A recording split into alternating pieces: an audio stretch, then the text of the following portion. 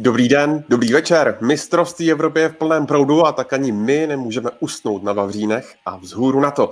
Vítejte u nového speciálního dílu Football Focus podcastu. A o čem jiném si povídat, než o povedeném vstupu Čechů do šampionátu. Podíváme se ale taky na další duely se zaměřením na českou skupinu. Řekneme si něco k dramatu se šťastným koncem u Dána Christiana Eriksena. Ligové s Bohem dáme Davidu Limberskému a nebude chybět ani typovačka. A na to všechno je tu s námi po delším čase ligový obránce Jakub Podaný. Ahoj Kubo. Ahoj a díky za pozvání. Na značkách je připraven Karel Herring z magazínu Football Club. Ahoj Karle. Ahoj Ondro a díky za pozvání. A, jestli, jo, a našel jsem ten dres, o kterém jsem minule mluvil. No. Jsem si dovezl z Argentiny dres Tomáše Juna z roku 2001. Super, no a dres evidentně našel taky Pavel Jahoda z webu Sport.cz. Ahoj Pájo. Nazdar Ondřej, měl jsem ho posledně, ale dokud Češi budou vyhrávat, tak budu nosit dres, pokud prohrají, tak jako žádný takový, takže to je jako pro ně motivace.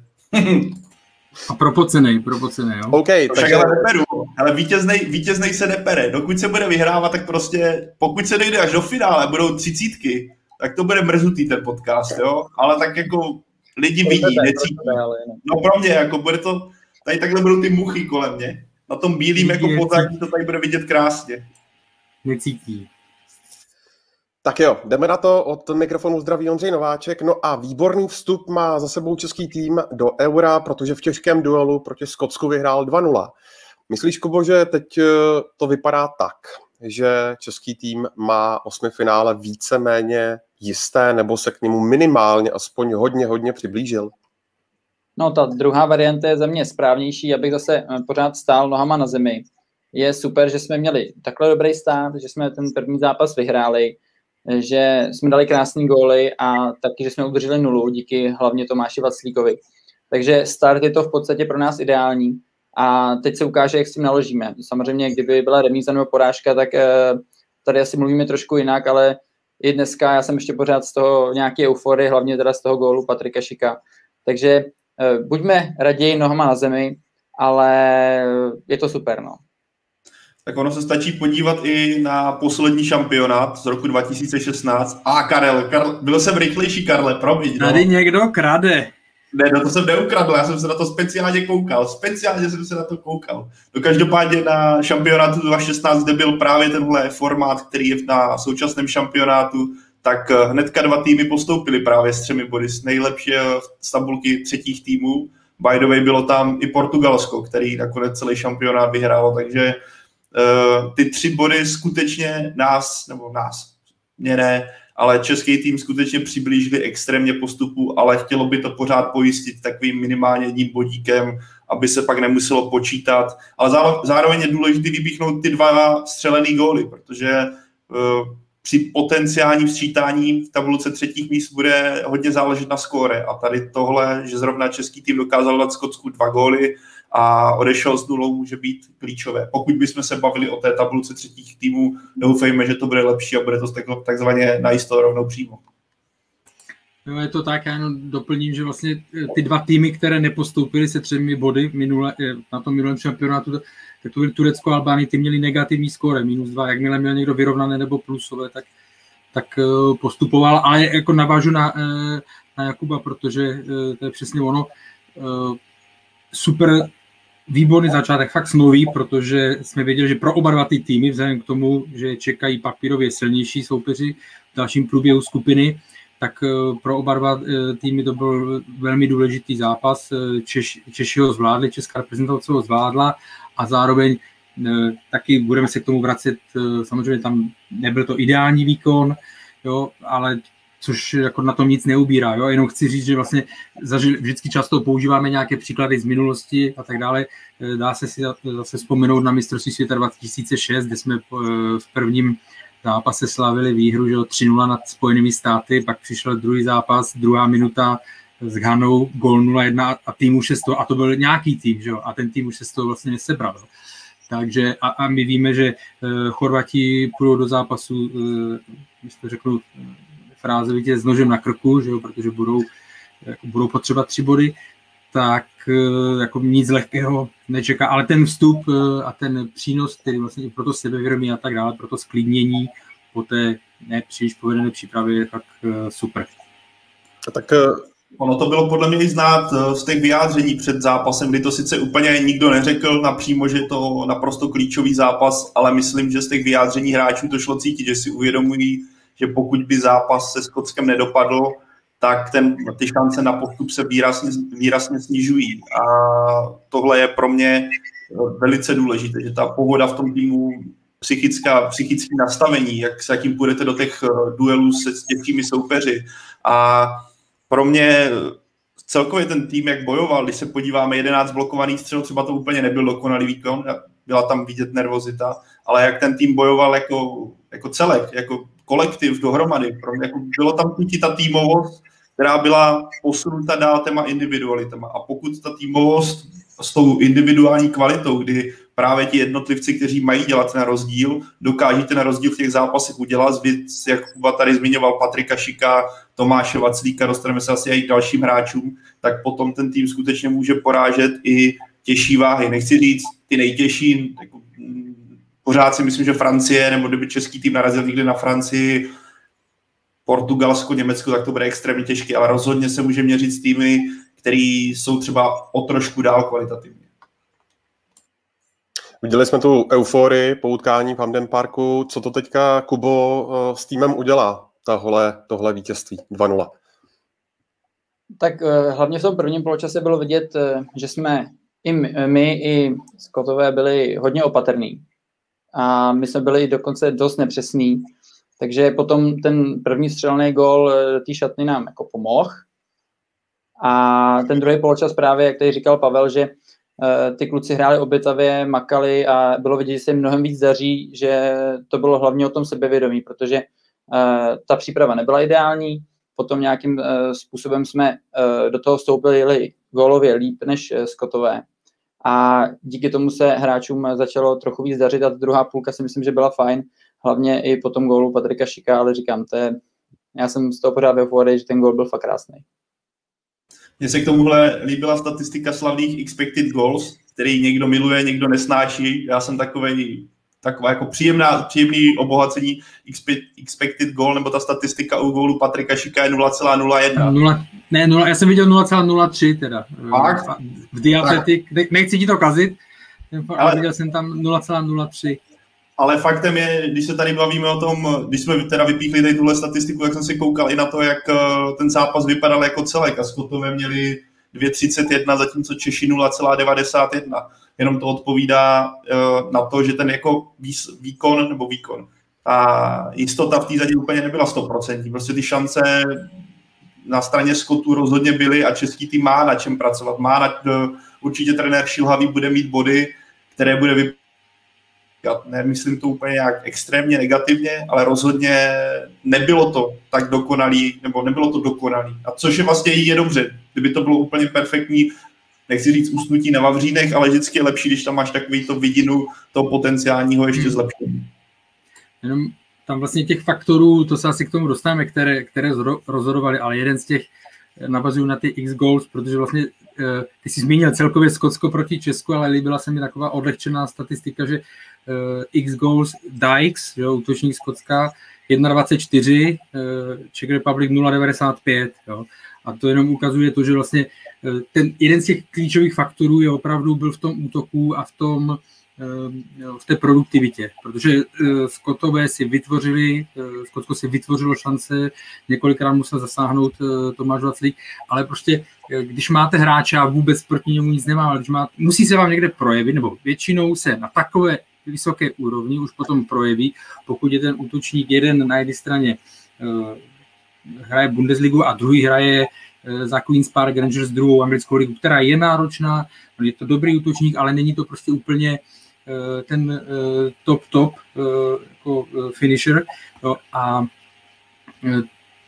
potvrdilo se to jenom v tom, v tom zápase a vlastně to, co často zažíváme v Evropě, české kluby zažívají v Evropě, že se řekne, prostě ty šance musíš využít, jinak se ti to na téhle úrovni eh, vymstí, tak to se povedlo přesně převrátit v náš prospěch v tomhle zápase. Kubo, ten druhý mm, gol Patrika Šika, uh, famózní záležitost. Uh, mimochodem, uh, podle UEFI gol, který padl z největší vzdálenosti na mistrovství Evropy vůbec. Kam bys ho v té kráse zařadil v československé nebo české historii? Máme tady známý v dloubák, máme tady dloubák Karla Poborského z Eura 96. Uh, bude to patřit do výkladní skříně českého fotbalu? To rozhodně, já už jsem eh, po tom zápase u hodně lidí četl, že to byl nejhezčí gól, eh, který jsme kdy dali takhle. Asi se s tím nějakým způsobem dá souhlasit, i když ta moje generace, nebo aspoň já, asi na to první místo budu pořád řadit Karla Poborského, protože mě bylo nějakých 11, když on ten gol dal. A teda 10, sorry, když on ten gol dal a já to mám furt v hlavě, musím říct, že ono se to teďka umílá, když třeba uh, Karel uh, chtěl být předsedou svazu, tak jsme to slyšeli nespočetněkrát a, a pro mě ten gol je pořád asi nejlepší, ale Patrik Šik uh, pro tu generaci, která teď nějakým způsobem nastupuje, tak si myslím, že to asi bude třeba volám. Pájo, myslíš, Já, že... Sou, jestli můžu ještě uh, souhlasím a i pro mě teda taky zůstává jako jednička. Uh, když nebudu dávat penaltu, že, tak ta, je to penalta a ten její význam uh, prostě se nedá srovnávat s těmi góly, protože ten se vyhrál mistrovství Evropy, ale ale je to gol, který vstoupil do historie v tom, ať už tou délkou, ale, nebo tou vzdáleností, jak to padl, ale i tím vlastně, že opravdu tak, jak teďka, když je euro, tak vidíte vždycky ty góly, když jsou pak vzpomínky na předchozí šampionát, tak vždycky se tam opakují podobné góly. A ten gól Patrika Šika e, tam bude, e, bude se po deseti letech, když se o tom bude, když se bude blížit euro, tak se na to každý bude ptát jo, a tak dále, na, tak jak říkala Kuba, na, na, Kuba na na, na lob Karla Poborského se ptají, jsem dělal nedávno s ním povídání do, do Forfortu po 20, po 20, po kolika letech, nebo po 22, po 24 letech, takže to jde furt, furt, jo. A to je ten gol z kategorie, který se bude omílat opravdu ještě za, za 10-15 let. Patrik Šik si nemohl udělat lepší reklamu než dnešní výkon a zejména ten jeho gol, protože jestli do dneška někdo ne, neznal Patrika Šika, tak myslím, že po dnešku fotbaloví fanoušci právě eh, jeho poznají, protože tohle se dostane úplně všude a myslím, že i do míst, kteří třeba, nebo mezi lidi, kteří evropský šampionát nesledují, tak právě gol Patrika Šika rozhodně uvidí, protože to bylo něco neuvěřitelného. Asi nepamatuju, kdy takový gol v poslední době padl. Navíc v době, kdy slyšíme, že střílec z dálky je neefektivní, eh, mělo by se to spíš řešit co nejvíc konstruktivní prací a co nejvíc do vápna, tak takové branky, radost, radost pohledět, jako navždy asi zůstane v paměti nás všech. Tweetoval o tom i Mesut Ezil. Kubo, ty nehraješ jenom v obraně, ale taky v záloze. Dal si někdy něco podobného? Já musím říct, že v tréninku se o to pokouším relativně často a to je něco jiného. Když jsem se o to pokusil v zápase, tak to bylo ještě za Duklu a trefil jsem břevno, ale z té mojí pozice, co já jsem většinou v té své kariéře hrál, tak jsem se tam úplně tolik nedostával. Na druhou stranu, vždycky, když byly uh, videa předzápasový, tak uh, tohle to byla jedna z věcí, kterou já jsem docela dost sledoval. Já jsem se fakt díval, uh, který ty golmani hrajou vysoko a spíš jsem ty poznatky potom předával právě do té naší středové řady nebo útočníkům, že když ten golman chodil výš, tak ať to klidně zkusí, protože ono teďka je to, vypadá to, že to v podstatě nikdo nikdy skoro neskusil, že to je opravdu výjimka, ale když se podíváme v té naší leze, tak on to tam občas někdo napálí a pak už je to jenom o tom, jestli to v té bráně skončí nebo ne, takže není to zase až tak extra ojedinělý zakončení. Tady někdo psal třeba Ibrahimovičovi nůžky, tak to si myslím, že to je jako extra ojedinělý. Ale říkám, já jsem trefil břevno, prostě nejsem tak dobrý jako Patrik Šik. No. Karle, uh, Myslíš, že v Bayeru Leverkusen, kde teď Patrik Šik působí, mohou brzy očekávat eh, nabídky, eh, řekněme, z nějakých top, top týmů? A volume? Už. Uh, Bayer Leverkusen je velmi dobrý tým, že to není jako nějaký průměr nebo tohle. A ty větší týmy, ty větší týmy uh, toho Patrika nebo potenciálně větší týmy tu Patrika Šika sledují dlouhodobě. To není nějaké zjevení, řekněme, jako kdyby to byl hráč z České ligy, a, a teď, se objevil, teď se objevil na mistrovství Evropy a takhle zazářil. Jo. Takže tam nemyslím si, že by to bylo. Samozřejmě my uvidíme, jaký bude další průběh turnaje, pokud by měl předvést něco, nebo pokud by se střelecky přiblížil Milanu Barošovi z Euro 2004, tak to opravdu už pak velký, velký dosah má a ta cena nebo ten zájem o toho hráče pak raketově roste, to je jasný. Jsi zmínil, že k ideálu měl ten český výkon daleko. Tak co dalšího ti tam ještě chybělo a na čem všem musíme, nebo český tým musí do toho pátečního utkání s Chorvatskem zapracovat? Uh, myslím si, že jako když to vezmeme, když to vezmeme úplně od začátku, no, tak uh, a na ten první poločas, no, nebo já, já se vezmu, vrátím se ještě úplně před zápas, když jsme se bavili o nějakých faktorech, které Eh, prostě pomohli tady tomu, eh, tady tomu výsledku. A když bych eh, se podíval jenom do skotského týmu, tak dva důležité faktory, že vlastně ráno se objevila zpráva, nebo ona se objevila, až se sestavovala, už tak probublávala zpráva, že se zranil Kieran Tierney, což je pro Skotsko velká ztráta byla. Velká ztráta nejenom co se týká defenzivy, ale hlavně té rozehrávky, protože on to opravdu Eh, uměl vyvést, jo, eh, velmi dobře tam spolupracuje, protože on je tam na levé straně z těch tří stoperů, velmi dobře tam spolupracuje normálně s Robertsonem, takže eh, to byla pro ně velká ztráta.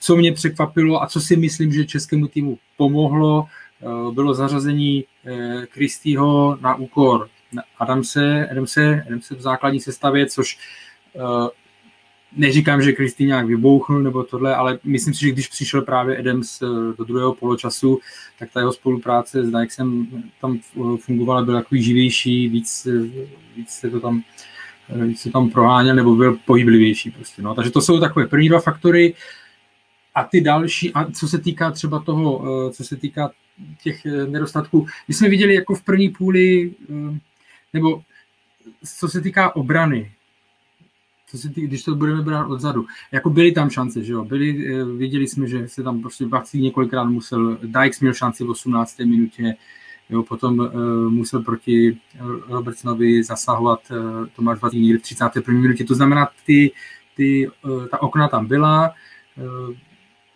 netvrdím to, že to bylo jenom problém jako, stoperů, no, protože ty Samozřejmě nebyli tam, Tomáš Kalas tam měl taky pár eh, momentů, kdy si nebyl úplně jistý, ale na druhou stranu musím říct, že pro ně ten styl skotský jim seděl, takže oni ty svoje přednosti mohli ukázat.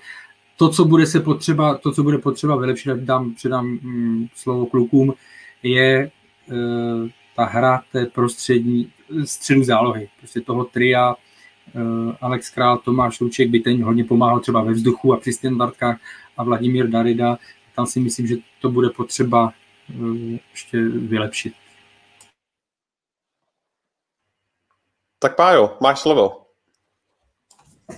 Jo, rozhodně. Jako, jako vidě, podle mě, nebo takhle, už viděli jsme to v přípravě, ta středová formace nebo to středový trio, který jsme vždycky vyzdvihovali a bylo středobodem národního týmu, respektive s ním, nechci říct úplně padalo a stoupalo, ale rozhodně mělo výrazný vliv na to, jak český tým hraje tak zatím v tomhle směru to dokonalé úplně není. Že ať přijde mi osobně, že třeba Alex Král, ať už v přípravě nebo teď, ukázal, že to herní, ta herní pohoda nebo forma rozhodně stoprocentní není nebo není na takové úrovni, na které jsme třeba u něj byli zvyklí. Tím ale já zase neříkám, že by si Alex Král měl v dalším zápase sednout. To, Viděli jsme, že to, Tomáš Holeš naskočil poměrně brzo, někdy v 65. minutě, což mě samotného překvapilo, i když já nevím, třeba si tren, Alex Král řekl, nebo tren, trenér to podle mě vycítil, že to úplně není ideální, ale rozhodně z jeho strany to zatím 100% není, ale pro mě B, Alex Král by měl zůstat v sestavě, protože si myslím, že to trio spolu je sehraný a že pořád se může rozjet do toho, do takové formy nebo do takové pohody, co od ní čekáme, nebo co od ní fanoušci čekají. Ale jako zaznamenal jsem velkou odezvu i na sociálních sítích a že kritika na Alexe Krále adekvátní, ale zase bych ho úplně neodepisoval na základě uh, jednoho zápasu, navíc když se vyhrálo, když ta pohoda bude v tom týmu, bude to stoupat, budou ti hráči daleko víc psychicky vyklidnění. Nevím, třeba jak to viděl Kuba, ví, viděl jsi to stejně, nebo jakožto hráč? No, tak uh my jsme měli problém hlavně tu první půli s tou výstavbou. tam eh, stopeři si v podstatě mezi sebou přihrávali balon, ale Skotové nás absolutně nenapadali. Tím pádem tam jako nevznikaly v tom středu ty okýnka, kdy uh, ty hráči, jak uh, právě Darida nebo Alex Král, by si ty balony mohli vlastně přebírat nahoru. Oni se v podstatě vždycky dostali třeba jenom mezi ty útočníky, sklepli to, nebo právě byli vyblokovaní a tyhle ty průmníkové přihrávky byly v podstatě na stoperech, což jako není úplně jejich doména. A potom, když ta přidávka přišla skrz, tak vlastně byla do hráče, který byl obsazený, což už bylo třeba do Jankta nebo dokonce i do Šika. A oni už neměli pozici na to, aby nějakým způsobem si ten balon eh, dobře ochránili a něco s ním udělali. Takže tady těch ztrát tu první půli tam bylo hodně. Eh, jak se říkali, tak Alex Král, tomu se v tomhle směru taky nedařilo, těch ztrát tam měl taky víc, nebylo to úplně vodní výkon asi, jaký on od sebe čeká. Ta forma prostě teďka trošku odešla, ale Eh, tímhle tím vítězstvím si myslím, že zase může naskočit eh, zpátky na koně a myslím si, že trenér Šilhavý nebude, no myslím si nic měnit, jo. I toho Jankta, který mu se tolik nedařilo, myslím si, že ho taky podrží a že ta sestava v podstatě zůstane uh, taková, jaká byla. No. Tak, tak jako ono, jak se říká, do vítězné sestavy se nesahá, pokud tam není nějaký výrazný, výrazný problém nebo skutečně někdo nevybouchne abnormálním způsobem, což si myslím, že případ Alexe Krále ani Jakuba Jankta nebyl. Ano, nebylo to dokonalý, ale rozhodně to nebyl totální provar, který by srážel kvalitu českého týmu někam výrazně níž. A navíc ta sehranost je podle mě důležitý faktor, který může hrát jako klíčovou roli v těžších zápasech, ať už to nebo nechci, nemyslím to nějak negativně proti Skotsku, ale když jsme se, už jsme se bavili v předchozím podcastu, tak Skotsko jsme typovali na čtvrté místo a teďka ty zápasy budou taky o něčem Já si myslím, že rozhodně budou vypadat jinak než ten duel se Skotskem. Ať už tím, že hráči se uklidní, tak také tím, že nastoupí proti týmům, které se budou prezentovat úplně jiným stylem než je Skotsko, které bylo hodně fyzické. Viděli jsme, že na Dijk se tam lítali ty balony jedna, jeden za druhým.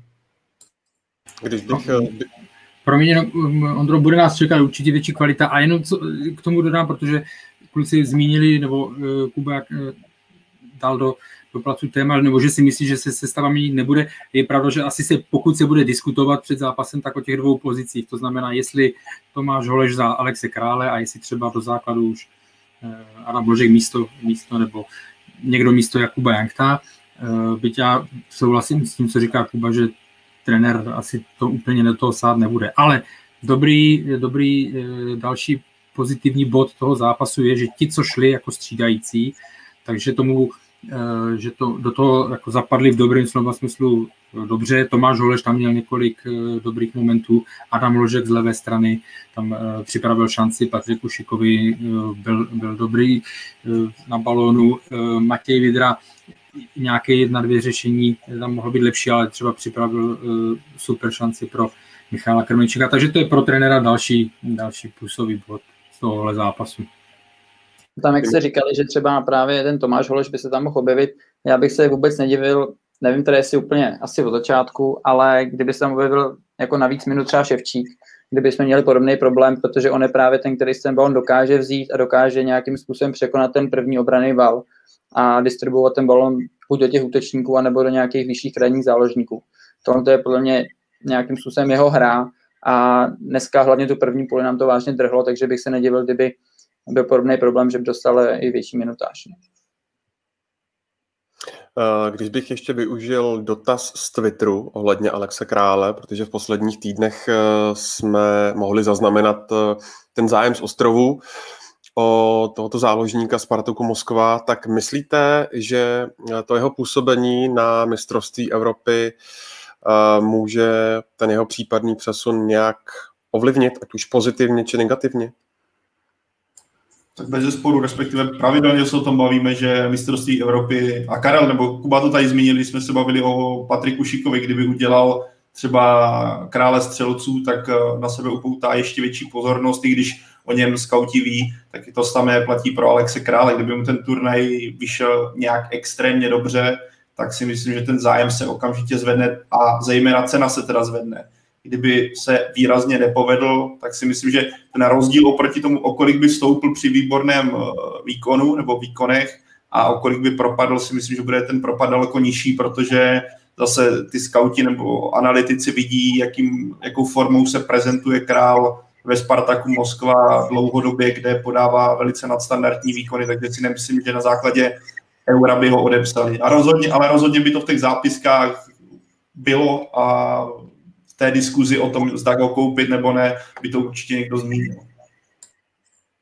Mimochodem, eh, když jste viděli tu základní sestavu, která byla vlastně totožná s tou úterní generálkou proti Albány, co jste si eh, v první chvíli řekli? Řekli jste si tak, to je ono, nebo jste si řekli, hmm, to je trochu nůďo. Co, co vás první napadlo?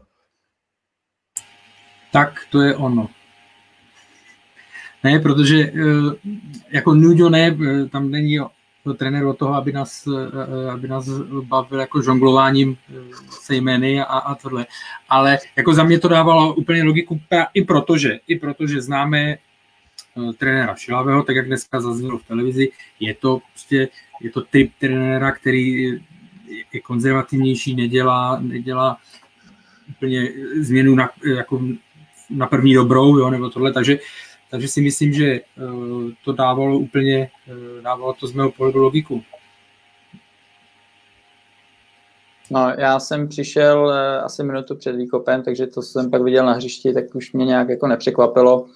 Ta sestava si myslím, že dala očekávat a v podstatě úplně nevím na těch pozicích, jestli bych momentálně našel nějakou lepší volbu, takže i, i já bych mohl říct, že asi takhle bych to nějak podobně vybral. Uh, už jsme hovořili o tom, že jedničkou je samozřejmě Tomáš Vaclík při tom zranění zad, uh, které má Jiří Pavlenka, odpojil se od týmu, jeho místo tím pádem uh, zaujmul alespoň pro tento zápas Aleš Mandous a na Chorvatsko už se do Glasgow připojí i golman na Uzburku uh, Tomáš Koubek. A když si Pavle viděl ten precizně skvělý výkon eh, Tomáše Vaclíka, samozřejmě stálo při něm i trochu štěstí, tak eh, říkal jsi, že v Sevě udělali chybu, že mu nenabídli prodloužení smlouvy? Říkal jsem si, že to je ono. E, ne, tak jako mají Buna, nebo jak on se Bonu, já přesně nevím, jak se teďka čte, ale tak v tomhle směru asi Sevilla udělala racionální krok a pochopitelný krok. Jako na základě povedeného výkonu proti Skotsku bych neříkal, že najednou Tomáš Vaclík měl dostat za, uh, smlouvu v Sevě. Jako z tohle pohledu spíš Tomáš Vaclík uh, si říká o angažmá nebo respektive o smlouvu někde jinde. On na tom turnaji hraje vlastně o sebe, protože dlouho nebyl vidět, dlouho nechytal a tohle je jeho šance ukázat ten týmům, které by pro něj potenciálně mohly být správnou adresou, respektive které by o něj mohly stát, ukázat jim, že to pořád v sobě má a umí chytat i proti těžkým soupeřům, což ukázal dneska, byl fantastický, fantastický a proto pro pohodu toho týmu a jak jsme se bavili, že ta výhra je pro ten tým skvělá věc, pro psychické stránce uklidnění, tak i pro Tomáše Vaclíka tenhle výkon musí být naprosto skvělý, protože on, když jsme se podívali na tu přípravu v Al- proti Albánii, tak mi taky přišel úplně, že to není ono, že tam je vidět ta herní, eh, herní výpadek, ale teď zápas proti Skotsku, tak to byl Tomáš Vaclík v té formě, kterou český národní tým chce a byl to výkon jedničky nebo jasné jedničky toho týmu a to přesně ten celek potřebuje před tím, co ho čeká. Takže tohle, tohle kromě toho, že Patrik Šik se chytl a dal gol, takže bylo hnedka na něm vidět, jak je psychicky v pohodě, jak si tam do, tou špičičkou si to tam Ulajny snažil vyladit toho obránce, sice mu to nevyšlo, ale bylo vidět, jak psychicky roste, jak najednou na tom hřiště, jeho to hřiště plné, tak to samé bude platit u Tomáše, pro Tomáše Vaclíka, který si to ověří a řekne, a ta hlava bude v tomhle směru určitě pracovat uh, v pozitivním slova smyslu. No, pro mě, co se týká jako golmanu, tak po zápase Albánii to bylo uh, jako větší téma, nebo takové řekněme nejistoty, než u těch stoperů, jo? protože tam pokud by byli zdraví Ondřej Čiluska s Tomášem Kalasem a vzhledem k tomu, že se hrálo, na Skot, že se hrálo se Skotskem, jo, ne, ne, ne, neřeším teďka zápas s Chorvatskem a, a s Anglií, tak uh, tam jsem si byl jistý, nebo jistější, že by se to mělo že by se to mělo nějakým způsobem zvládnout, minimálně směrem jako dozadu, Kuba tam zmiňoval samozřejmě tu rozehrávku jako, jako mínus, ale u, u Golmanu jsem si tak jistý nebyl, protože prostě ani jednomu to tolik nevyšlo a hlavně opravdu ten Tomáš Vaclík chytal. My jsme viděli už v březnu, že dokáže, i když nebyl v permanenci, takže dokáže předvést velmi dobrý výkon. On je to zkušený golman, takže se na tohle umí připravit, to je jasný. To jsou. Ale jako, když opravdu ty tři měsíce nechytáte, tak to prostě asi ideální vstup nebo ideální příprava to rozhodně není. No. Ale dokázal se s tím popasovat skvěle. Věřme, že mu to vydrží, že opravdu se jako nakopne a že mu to vydrží, aby jsme takže pořád, eh, tak jak to bylo řečeno na začátku, pořád jsme v úvodu eh, turnaje a máme za sebou jeden eh, výsledkově skvělý, skvělý zápas. My se o utkání Anglie-Chorvatsko, které předcházelo vlastně tomu dnešnímu souboji Česka se Skotskem, budeme za chvíli bavit podrobněji. Ale český tým tedy, jak už jsme řekli, v pátek čeká právě utkání s Chorvatskem. Neměl by podle vás, i když jste před chvílí říkali, že byste tu vítěznou sestavu neměnili, přece jenom Jaroslav Šilhavý udělat třeba nějakou, řekněme, překvapivou změnu, překvapivý tah. A například co se týče nějakého rychlostního hráče, který by uh, třeba ty Chorvaty, o jejichž uh, věkovém průměru už tady uh, v některém z minulých dílů Football Focus podcastu taky byla řeč, třeba přesprintoval, mám tím na mysli, jak třeba Adama Hloška, anebo třeba uh, si vzpomínám na tu generálku z Albánii, kdy nastoupil na posledních 15 minut jako pešek, a, který vlastně ale dneska nebyl ani na lavice, ale prezentoval se skvělým výkonem. Kubo. Tak já si myslím, že úplně s tou rychlostí tam nemáme zase nějaký velký problémy. Tam, je tam Šiky, tak ten není, není určitě pomalej, Jankto, Masopust, takže eh, v tomhle směru úplně nevím, jestli když tam dáme nějakým způsobem někoho o něco rychlejšího, jestli to bude nějaký extra přínos. Eh, jediný, co, jak jsme se bavili, eh, tu změnu bych tam věděl, že samozřejmě Chorvati mají ten střed mnohem, mnohem kreativnější než Skotové to Skotové ty dneska bylo jasně vidět, že mají strašný problém s nějakým taky úplně s tou výstavbou, něco podobného jako my první půly, že v podstatě, když se dostali do nějaké lepší pozice, tak stejně raději volili přidávku dozadu a byli hodně bezradní. Ale v Chorvatsku bude Modrič a ten, ten to umí. To asi všichni víme. Takže v tomhle směru bych se ještě nedivil, kdyby třeba ten Tomáš Holeš tam šel, protože je to přece jenom defenzivnější typ a možná třeba takhle může pan Šilavý uvažovat právě z výměnu za to Alexe Krále, který je přece jenom víc tvořivější a více hledá ten míč nahoře. Takže to by mohla být nějaká za mě eventuální změna, která by tam připadala v úvahu, ale myslím si, že dopředu ani na těch křídlech se prostě nic moc velkého dít nebude. A doufám, že samozřejmě v průběhu zápasu tam dostane Adam Hložek. Je to hráč, který já hrozně rád sleduju. Eh, rád sleduju ten jeho pokrok, ten vývoj a věřím, že za, nějaký, za nějakou dobu uh, přestoupí do nějakého většího zahraničního klubu a tam se taky těším, jak se s tím popasuje. Karle, uh... Souhlasím s Kubou. To je ta jedna z pozic, o kterých jsem zmiňoval, ten, ten střed, takže to souhlasím, jenom potvrzuju. Potvrzuješ a zároveň mi prosím uh, předestři tvou predikci na to utkání. Eh, Česko-Chorvatsko? Uh-huh. A to už je v rámci typovačky, nebo to mám říct výsledek, anebo ještě nějak rozebrat? Můžeš to říct i větou rozvitou. Větou rozvitou. Eh, určitě nám dává do uh, velkou výhodu to, že uh, už nebudeme pod tím tlakem toho, toho vítězství, to se, uh, toho, že prostě budeme muset vyhrát, protože ten bod opravdu by nás uh, tak to na 99% posunul Eh, posunu do osmifinále, čím neříkám samozřejmě, že se bude hrát na remizu a tak dále, jo? Ale, ale dává vám to určitě samozřejmě eh, výhodu, jdeme do toho v lepší pozici než, eh, než Chorvatsko. A já si prostě myslím, že byť kvalita Chorvatů, ta individuální a tak dále, to, to by bylo zbytečné opakovat, to všichni, to všichni vědí. Je vysoká, tak já si pořád myslím, že české týmy se na tady tohle umí dobře připravit. Vzpomínám si i na zápas, byť tam jsme měli štěstí, ve Francii, kde se to podařilo, teda i díky eh, chuligánům chorvatským, kteří přerušili zápas, kde se to podařilo eh, vyrovnat. Prostě, byť tam ten herní rozdíl byl obrovský. Ale prostě co chci říct, myslím si, že se na tohle umíme, eh, umíme připravit a já mám připravený typ 1-1, ten jsem měl v prvním zápase, tak u toho zůstanu.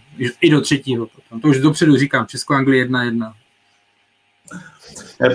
Jako pod, uh, Chorvati určitě budou pod výrazným tlakem a to nejenom kvůli tomu, že teďka jsou zatím bez bodu, ale myslím, že i ten výkon, který byl proti Anglii z jejich strany, tak byl zklamáním hodně nevýrazný, ať už to byl Luka Modrič zmiňovaný, a nebo jako tým, jako celek. Pro, pro mě to bylo jako velký zklamání, že ač Anglie taky nebyla stoprocentní v určitých fázích a na, zejména před tím prvním gólem, nebo respektive od 20. minuty do toho prvního gólu, to jsem si říkal, tyjo, tak ty hodně, hodně uh, ubrali z toho, co, co nastolili na startu, tak uh, Chorvatsko ukázalo strašně málo. A já jsem to zapomněl zmínit v posledním podcastu, kdy jsme se bavili trošku o té české skupině, ale myslím, že to hodně, může to být aktuální i na základě toho, jak ten zápas dopadl, ale v chorvatské kabině určitě není pohoda, protože už před turnajem šly zprávy takové, že starší generace s tou mladší úplně nesouzní. I Dejan Lovren vyjádřil se v médiích ve něco ve smyslu, že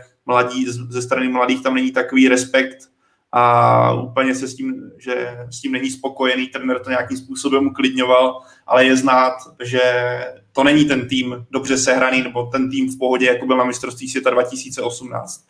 A víme, jak týmy z téhle oblasti dokáží emočně jednat, respektive jak se dokáží sami, roze, sami rozebrat zevnitř. Takže tohle pro mě taky jako může být důležitý faktor, nejenom ten herní, ale i tenhle prvek nějaké pohody v týmu, kterou teďka český tým bude mít, naopak Chorvati ne. A pokud to tam skutečně nefunguje, tak jak to naznačují ty zprávy, které unikají tady z téhle oblasti, tak by to mohlo být důležitý, eh, důležitá věc, proč třeba český tým by mohl uspět. Můžu dvě poznámky k tomu? Hoď, uh, pojď do mě. Jedna, jedna, ne, ne, ne, eh, já s tebou v podstatě souhlasím, uh, jako že to je, nebo že si člověk vždycky v hlavě před tím turnajem říká, jako kdo by mohl zazářit, jo, kdo by mohl překvapit a kdo naopak z těch zavedených men by mohl zklamat, tak ještě tak nějak přes víkend a samozřejmě se to vyvíjí v průběhu i podle toho, jak co člověk čte, jak vidí nějaké uh, analýzy a tak dále, tak jako jsem si před tím zápasem z Anglii říkal, že, že, že to Chorvatsko, že bych se nedivil, kdyby třeba bylo Eh, bylo jako negativní překvapení. No? Že oni někdy opravdu je to fakt těžký pak obhajovat tu pozici, už taky uběhly ty tři roky. O těch problémech jsem tolik neslyšel a k tomu se ještě uh, dostanu z jiného úhlu, ale uh, takže jsem si tak jako říkal, ale pozor, no, taky na mistrovství světa v Brazílii, před mistrovství světa v Brazílii jsem si říkal, že nevěřím Holandianům, jo, a oni tam došli, myslím, do, do semifinále, že jo, nebo jestli se, nebo ne do finále, oni prohráli vlastně ve finále, ne? Nebo ne teda, ne v Brazílii. No ano, v semifinále, v semifinále, už to vím, jsem se zapletl. A co se týká těch vztahů v kabině, je to, jako může to být velmi důležitý faktor, akorát bych se tím nenechal, eh, nenechal úplně ukolebat. Vzpomínám si na Euro 2016. Eh, jestli si vybavíte situaci, tak my jsme hráli poslední zápas s Tureckem. A z toho tureckého tábora tam šly normálně zprávy, eh, eh, že fakt eh, rozkol, prostě hádky, dokonce mi jeden hráč českého týmu, který měl někoho spoluhráče prostě v Turecku nebo takhle, v tom Tureckém, takže mi psal, že se tam i na tréninku porvali a tak dále, tak jsem si říkal, tak to je, to je jasné, oni se rozloží sami prostě a, a Češi by úplně nevypadali jako nejlíp, tak, tak půjdou dál. A na tom příští se to pak vůbec nepotvrdilo. Jo? Na, spíš naopak, že oni tam fakt ty Turci to zvládli, to zvládli skvěle ten náš zápas. No. Takže jako je to, může to být eh, prvek jako důležitý, ale úplně zase stoprocentně se na něj spolehnout nedá. No jako já jsem ty, ty vyjádření neslyšel teda nějakým způsobem o těch eh, starých mladých, co říkal Pavel, ale pokud to tak je a už to ve finále někdo jako z těch hráčů říká veřejně, tak si myslím, že už je to velký problém. Protože já třeba, když jsem byl v Řecku, tak to taky jsou relativně horký hlavy, takže tady nějaký ten ty šťouchance na tréninku a nějaký polobytky, tak to tam bylo furt a, a na hřišti potom v zápase to jako nikdo neřešil. Oni to pak spláchli a druhý den, eh, druhý den už se jako vůbec nic neřešilo. Takže si myslím, že u těch Turků to klidně mohlo být něco podobného a samozřejmě ty, ty šuškandy, tak to je jak v Itálii, tam to jede furt, tam každý chce o něčem takovým psát. Takže v tomhle směru, jestli už to ale někdo uh, řekl veřejně, tak si myslím, že tam problém je.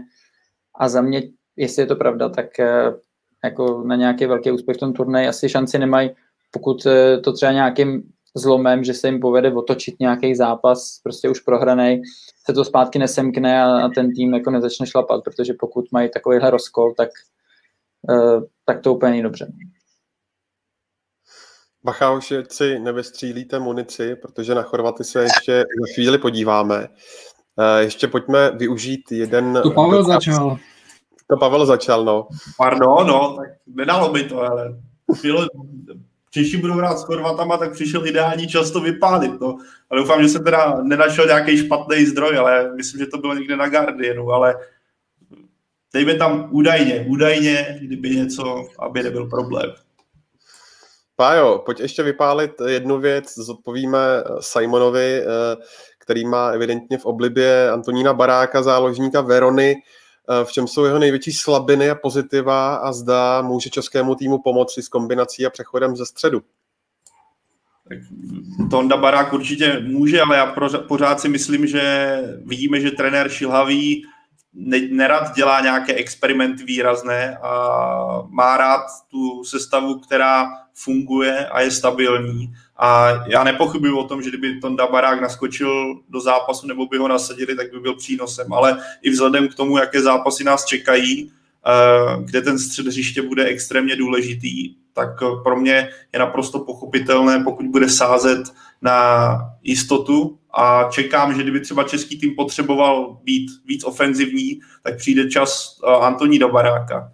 Já úplně nemám nasledovaný jeho zápasy ve Veroně, to bych kecal, kdyby jo. Ne, nemám v italskou ligu v Ameriku, maximálně koukám na, na netu, jak se ty zápasy hrály a koukám, když dá nějakou branku, takže já ho úplně jako komplexně hodnotit nemůžu, nebo ani, no vlastně nemůžu, ne, nejsem to ani schopen, ale je, rozhodně jako on může přinést tuto technickou kreativní část, ale zároveň je pro mě v současnosti naprosto pochopitelné, že je spíš žolíkem, jakož to byl po většinu kvalifikace, pokud to trio které fungovalo vždycky, ať už eh, Darida, Král, Souček, tak pokud bude fungovat jako žolík. A já si myslím, že pokud on naskočí takhle v zápase, tak má co přinést tomu, nebo má co dát, ale bude záležet na vývoj zápasu, bude záležet na soupeři. Já si myslím, že trenér Šilhavý toto dobře ví a je na to připravený. Ale uvidíme, no. A sám jsem zvědavý, jestli Tonda Barák dostane prostor, kdy a jak moc.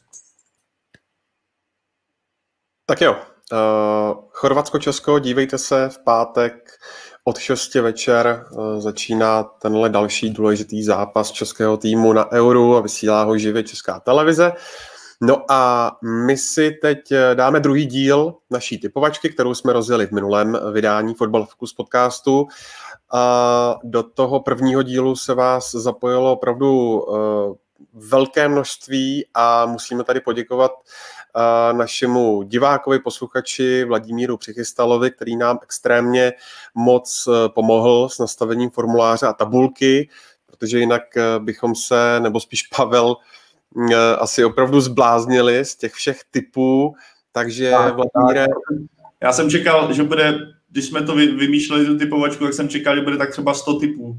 Když jsem viděl, že jich je tam 650, tak ta představa, že bych to manuálně počítal na YouTube, a zapisoval si to do Wordu, tak uh, myslím, myslím, že bych se už tady, myslím, že typovačka už by neexistovala. To bych to vzdal velice rychle. Pavel by neexistoval, typovačka, jo. Já bych už nechodil, už bych nepsal scénáře, už bych, už bych byl mimo radši. Takže Vláďo, eh, díky moc s tímhle skvělým formulářem. No a nově tedy nemusíte psát typy na přesný výsledek Eh, do komentáře pod videem, ale na webu čtsport.cz, eh, buď eh, v podcastovém článku, a nebo v popisku videa tady na YouTube bude link na formulář a do něho je potřeba ty výsledky, prosím, pěkně zadat. A kdyby byl jakýkoliv problém, tak aby z toho Pavel neměl hlavu zavařenou málo, tak mu klidně napište, třeba na Twitteru, nebo, nebo mail a uh, vše se vyladí. No a ještě jedna novinka, protože k těm fantastickým cenám, uh, které do typovačky věnoval Karel, respektive magazín Football Club, uh, o kterém si více můžete samozřejmě přečíst, anebo si ho rovnou i předplatit na stránkách footballclub.cz, tak nejspíš s největší pravděpodobností do té typovačky přibyde ještě jedna velká odměna pro vítěze a to bude originální hrací míč z Eura, který do soutěže věnovala nebo věnuje Česká televize. Tak, pojďme na typy. Kluci, první mač je Dánsko-Belgie. Tak já říkám 1-3. Mám tady napsáno 0-2. Já mám napsaný 0-3. Tak já se budu odlišovat a řeknu 1-2. To je velká, velká změna. U Fortina. To tam nasypal Ondro. Ty jsi rozparádil. Kluci, Švédsko-Slovensko. Ale já tady mám jedna jedna mám, jedna jedna mám. No, mě Slováci překvapili, ale já ne, napsal jsem si tady 2-1 pro Švédy. I když jsem je vůbec neviděl zatím, Slováky jsem teď viděl jedním okem. Dávaj góly, no. Tak, dávaj na, góly. tak, naprosto, tak naprosto nelogicky dávám 2-1 pro Švédsko. Já taky. tak já řeknu 2-2. Uh, to už jsme tak trochu nakousli před chvílí, ale ještě si to jednou uh, zrepetetíme. Chorvatsko-Česko. Ale já tam mám jasnou, jasnou dvojku. 2-1 Češi, 2-1. Šik gol, Šik dá je další gol a Souček ze standardky. My s Kubou 1-1. Píšu. 3-1 pro Čechy. Ondřej, ale ty, který vždycky býváš pesimistický jako prase, dáš jedna tři pro Čechy, no. Jo, dneska mě to strašně nabudilo. To by to najelo, to by to najelo šíleně dneska. No OK. No a když jsme viděli ten první zápas Anglie a viděli jsme první zápas Skotska, tak jak dopadne měření sil tady v tomto duelu? Tady to nemá kam, hele, 3-0 Anglie, 3-0. Sterling další gol, pokud si chce někdo sadit na, sadit na střelce, Sterling další. 2-0 Anglie a jeden gol dá Phil Foden, naváže na Paula Gascoina ze zápasu v 96. Nevím, jestli bude stejná golová oslava se zubaským křeslem, ale, ale dá gol. No, já jsem chtěl dát uh, eh, 3-0, ale dám teda 4. tak a já dám 2-0 pro Anglii. Říkal jsem, že řekneš Scotty, Ondro. No a poslední tip je utkání Portugalsko-Německo. To je ta smrtící poslední skupina F. No, to, je, to je to největší tutovka tyhle typovačky. To je no. jasná, jasný výsledek 2-1 Portugalsko. Tam to vůbec nemá kam. 1-0 Portugalsko. To já nevím, já váhám teda, že by to klidně mohlo být bez branek, takový větší šlágry. No, a tak ať vidíme nějaký gol, tak dám 1-1. Hmm, taky jsem chtěl, tak taky dávám 1-1. Tak dej 3-3, Ondro. Viděl jsi, jak to minulý Luděk nasypal? Jo. jo. Sice mu nic nevyšlo, ale... No, nasypal. Co? Nevyšlo, ale nasypal. Nasypal. Tak jo, eh, kdo se na, vás, na nás eh, budete dívat ze záznamu, ať už tady na YouTube, anebo si nás eh, poslechnete na Spotify a všech dalších podcastových aplikacích, tak prosím ty typy posílejte nebo ukládejte do formuláře do startu prvního utkání a to je čtvrtek 18. hodina večer a ještě jednou zopakuji ta pravidla za přesný výsledek, například 1-0 nebo 1-1, tak získáváte dva body za trefu, uh, alespoň výsledku, tedy správně trefeného vítěze či remízy, pak uh, bod. Tak. A my se vrháme na uh, slíbenou Anglii, zejména Anglii, ale podíváme se i na další dění na euru. Kubo, když se podíváš na ty proběhlé zápasy, eh, které jsme měli možnost od pátku zatím vidět, tak nepřijde ti, že když eh, silný tým eh, narazí na slabší, tak ten slabší tým a bylo to třeba krásně vidět vlastně v tom včerejším utkání nizozemskou Ukrajina, tak ten slabší tým volí vždycky hluboký blok. Proč myslíš, že tomu tak je? S tou Ukrajinou to bylo úplně, úplně evidentní. Tam, tam ta Ukrajina stála nějakých 35 metrů, možná 40 od svý brány a v podstatě tam byl většinu, hlavně toho prvního poločasu, uh, tam byl, nebyl žádný náznak ani nějakého presinku nebo dorážení. Je to o tom, že oni jsou si vědomí, že jsou prostě slabší, že v těch zápasech to není o tom, pojďme si to rozdat na férovku a uvidíme, jestli třeba máme dobrý den. Tady se hraje o hodně, takže oni zvolili tu taktiku, že budou hrát hluboký blok, aby se tam Holanděni hůř dostávali. Navíc, když tam ještě mají extra kreativního depaje, tak si myslím, že ta taktika nějakým způsobem byla dobrá. No a sázeli potom na breaky to se jim eh, tu první půli ani to jako nějak nedařilo, byli prostě celkově pasivní a ty holanděni ten balon v podstatě i každý odražený měli, takže já, mě to taková, taková očekávaná sázka, hlavně tady v těch důležitých zápasech, kdyby to byla příprava, vypadá to jinak. Takže je to jasná taktika a skoro jim to nakonec vyšlo, no, ale oni začali hrát, když to bylo 2-0 a tam si možná ukázali, že kdyby, kdyby to trošku víc otevřeli, protože oni byli opravdu hodně hluboko, a hodně pasivní, tak eh, třeba nakonec ten vývoj byl pro ně eh, trošku lepší a nemuseli potom takhle dohánět eh, to dvougolový manko. No. Ono navíc v tom systému, jak jsme se bavili, tady každý bod je extrémně cený, takže když to budeš, nebudeš bláznit, tak ty, ty bodíčky případně získaný proti favoritům se ti ve finále můžou sečíst a může to být, může díky nim postoupit. No. Viděli jsme třeba zápas Itálie, Turecko, hnedka ten úvodní, kdy Turci v první půlce byli hodně pasivní, ale Itálii nepustili ke gólu a v druhé půlce si to da, chtěli dát trošku víc uh, na férovku a jak to dopadlo. Když to otevřeli, tak se totálně sesypali. Takže uh, to, že ty nůžky jsou otevřený a ta kvalita těch, té totální smetánky jinde, jinde, to je prostě fakt a vychází, vychází to z toho, kde ty kluci hrají, jak široká základna těch hráčů tam je a je to vlastně pochopitelný. A kdyby ty Japánci, kdokoliv tam šel, jak to říkal Kuba, na férovku, tak dostane bůra a může za chvilku jet domů, což nikdo nechce.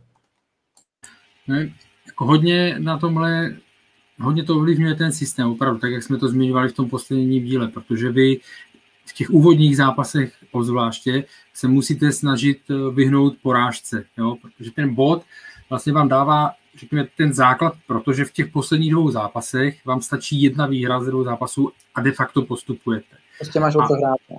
Přesně tak. A hlavně, jak Kuba, Kuba zmiňoval, Holandsko s Ukrajinou a Pavel mluvil o Turecko, Itálie. Oba dva ty týmy, tím myslím Turecko i Ukrajina, tak eh, ty vědí, že v těch dalších kolech je čeká eh, papírově lepší, eh, snad snadnější tým, nebo ne snadnější, ale lehčí tým, nebo jak se to říká, že papírově snadnější tým. To znamená, že oni opravdu ten, v, tom, v těch prvních zápasech proti těm favoritům se zaměřili na, to, na tu defenzivu, na bod. A mimochodem Turecko, když si vzpomeneme na to poslední eh, euro 2016, tak eh, tam Turecko že byli jsme s nimi ve skupině, nejdřív jsme prohráli se Španělskem my, byli jsme, eh, a byl tým trenéra Pavla Vrby kritizovaný za prostě defenzivu, za totální soustředění na, na plichtu a tak dále. A Turci si to šli rozdat se Španělskem, prohráli, teď nevím, asi na to tady podívám, o tři góly nebo o kolik, teď, eh, teď to, já to zjistím během vteřinky. A to byl ten důvod, eh, proč oni pak nepostoupili, protože měli záporné skóre 0-2, jo, tak možná, že se, vidím to teď vůbec taky nevyšlo, takže i pro, že se poučili v tomhle směru, že opravdu chtěli e, postavit defenzivně. Oba dva ty týmy, jak Turecko, tak Ukrajina, mají určitě lepší, tým, lepší týmy na to, aby předvedli e, větší kvalitu do ofenzivy, jo, ale prostě za, zaměřili tu pozor, nebo tu svoji taktiku fakt na tu defenzivu, to je specifikum těch prvních zápasů v tomto systému. Takže ruku v ruce s tím, Karle, samozřejmě jde i eh, to, co jsme měli možnost vidět eh, v těch eh, pěti zápasech z osmi, kdy vlastně o půli byl bezbrankový stav? Věřím, že jo, věřím, že jo, že prostě opravdu ty začátky jsou opatrnější. Ono asi vždycky byly, jako nepamatuju si turnaje, kde by to hnedka z prvního kola spustili, pokud se budeme bavit o euru. Na mistrovství světa přece jenom tam ta kvalita eh, některých těch týmů je nižší, no, takže tam to, ale takže nikdy, málo kdy, eh, my se tady bavíme o tom, že náš výkon nebyl úplně dokonalý, ale on i málo kdy je v prvním, eh, v prvním kole eh, dokonalý. Jo. A jenom, jo, takže má to určitě ten, je to ten vliv na to to má a Turecko prohrálo se Španělskem 0-3 jo, a pak ho to vlastně dostalo do té, sice hráli hezčí fotbal než my, ale, ale stejně tak, jak, jako český tým měli domů. Já si myslím, že to je obecně fakt, že tak tyhle turnaje, ať je to světový šampionát nebo mistrovství Evropy, vyhrávají týmy, především, kteří jsou dobře organizovaní, hrají dobře v defenzivě a mají tam ten nadstandard než týmy, který by hráli úplně hurá styl, všechno sázet na ofenzivu a uvidíme. Tady já si myslím, že tohle obecně i tím, jak je to dělané, všechno playoff na jeden zápas, tak je to tak stavěný, že defenziva dominuje a je klíčovější klíčovějším prvkem. Vys Řecko, vys i Portugalsko čtyři roky zpátky. Když se vrátíme k tomu nedělnímu utkání uh, Anglie-Chorvatsko, uh, které hostilo londýnské Wembley, Kubo, tak myslíš, že jak Anglie, tak Chorvatsko ukázali svá maxima, anebo to v případě Anglie bylo spíše takové rozehřívání se?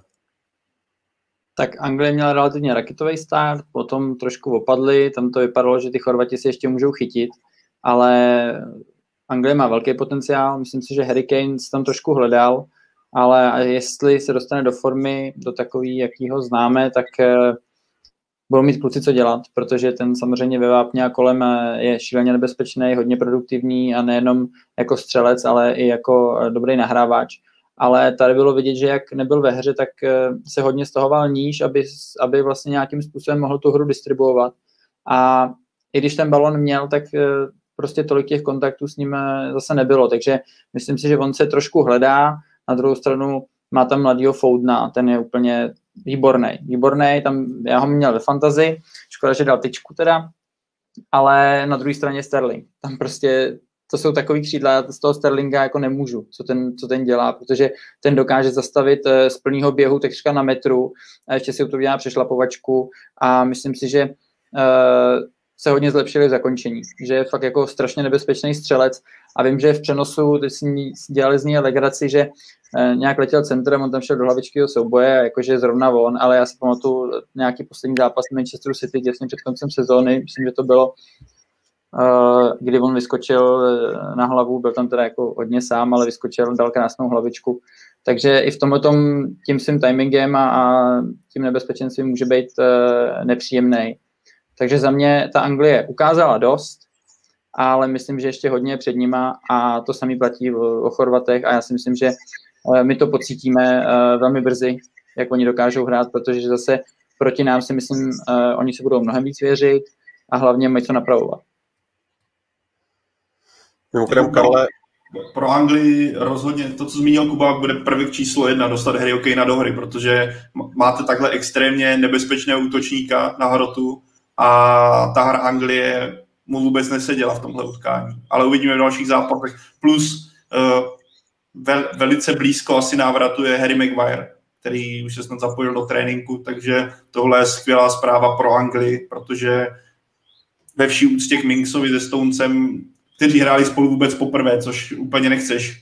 Teďka, co jsme se bavili, že defenziva vyhrává šampionáty, tak úplně nechceš jít do turnaje s obranou, která hraje spolu, nebo se stoperským duem, který do té doby spolu nehrál. Takže v tomhle směru je pro Anglii strašně důležitá zpráva, že Harry Maguire bude ready. Ať už to bude, nevím na který zápas, myslím si, že nemusí spěchat, protože se Skotskem ten duel věřím, že odehraje tahle sestava úplně bez problémů. Myslím, že i na Čechy ve vší úctě k naší reprezentaci, tak si myslím, že taky tam ještě není důvod úplně plašit tím, že porazili Chorvaty, ale na osmi finále pro Anglii určitě bude důležité, aby Harry Maguire už byl v sestavě a Anglie hrála v plné.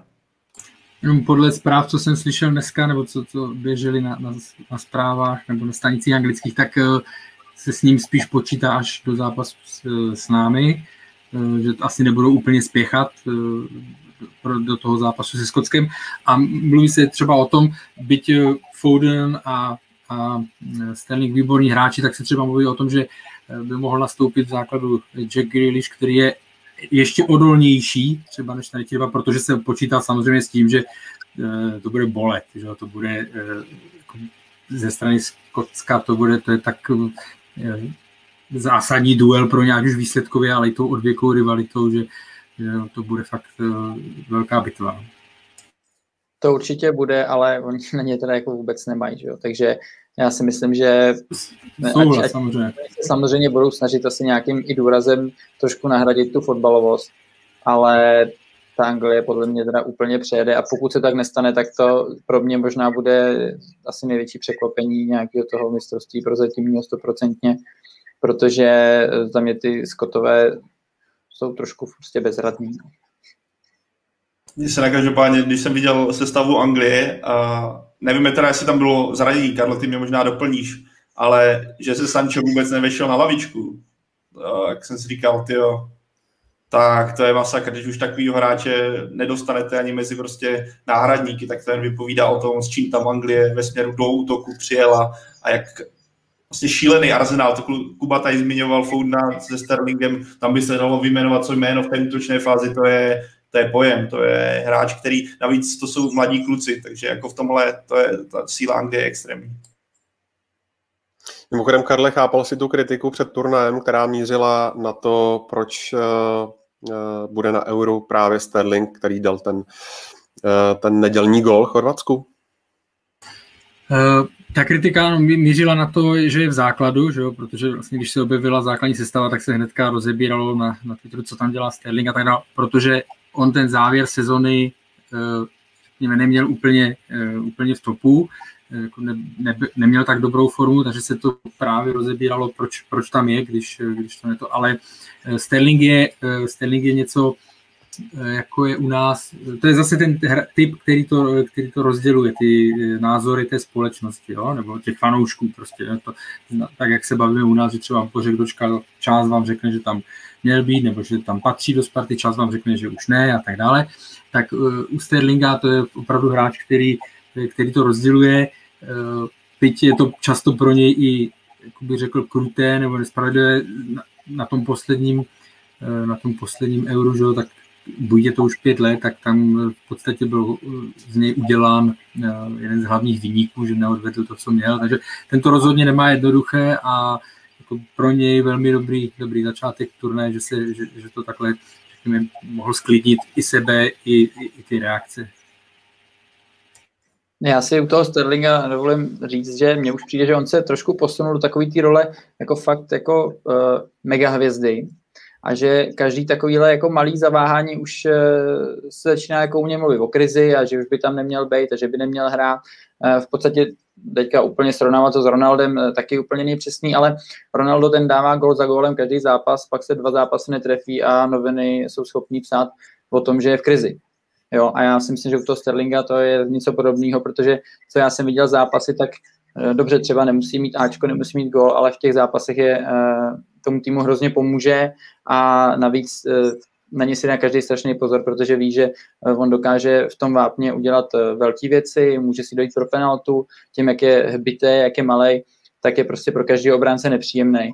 Takže v tomhle směru si myslím, že ta kritika, že už se posunul někam, že hodně každý zápas jsou očekávaný obrovský výkony a pokud nejsou, tak se v podstatě hned jako hovoří o tom, že nějakým způsobem zklamává.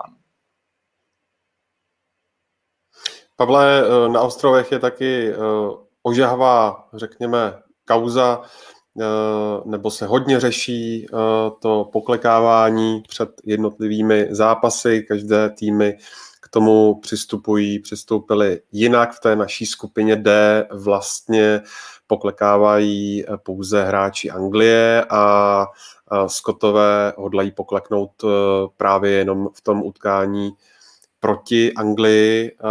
Jak to vnímáš ty, jak to vnímají i kluci? Já jako osobně to vnímám už trošku jako prázdný gesto proti tomu, jak to bylo na začátku, ale takhle bych to řekl. Ať si každá ta reprezentace nebo každý ten tým dělá, co chce, každý k tomu má jiný pocit, každý ten tým tu, tu situaci vidí jinak ale ať nedělejme ostatních týmů špatný kvůli tomu, že nekonají tak, jak my si myslíme, že by měli konat, protože každý na to má svůj pohled a pokud, eh, já nevím, pokud tam někdo ne, ne, ne, není rasista, tak jako, nebo ne, nevzývá rasismus, tak nemám problém, ať se ukazují, ať si klečí, ať si ukazují na uh, respekt, ať nedělají vůbec nic. Nemám s tím problém, když já osobně si myslím, že to gesto obecně už je prázdný a myslím, že je to cítit i na reakci z ostrovů fanoušků. Ale zároveň nemám problém s tím, že Anglie to v tom pokračuje, protože jak už jsme se bavili xkrát, vnímání rasismu v Česku a vnímání na ostrovech je dosti odlišné a tomhle směru já třeba nemám ten stejný pocit, jako třeba mají hráči Anglie, kteří v tomhle fungují úplně jinak. Ale, tak jak říkám, každý jak si dělá dle svého, ale ne, nevyčítá ostatním, že nekonají tak, jak si přejou. No, respektuju to, že Anglie eh, poklekává a eh, respektuju a měla, měli by ti, co jako angličani, že se to hlavně mluví o nich, samozřejmě respektovat eh, to, že se někdo rozhodne pro ukázání jiné formy hm, podpory boje proti rasismu. No já v tomhle tom, kdybych v té situaci byl, tak si myslím, že z začátku, když ta vlna přišla, tak asi bylo dobré to gesto udělat. Ukázat to prostě, vlastně. jsme si něčeho vědomí a chceme nějakým způsobem proti tomu bojovat, protože jak jsem byl v zahraničí, tak eh, u nás je to opravdu vnímaný trošku jinak než tam. Eh, takže eh, v tomto směru si myslím, že to asi bylo vhodné. Nicméně teď právě, jak říkal Pavel, že to už je trošku prázdný, mně právě naopak přijde, že tímhletím v podstatě na ten rasismus stále poukazujeme, ale už v podstatě možná i jako, že je něco jinak. Já si myslím, že správně je chovat se přirozeně. Ten, kdo není rasista, tak se prostě chová normálně a pořád nějakým způsobem na to upozorňovat takhle dokola už má podle mě i dokonce právě opačný efekt. Takže v tomhle směru uh, já bych už nepoklekával.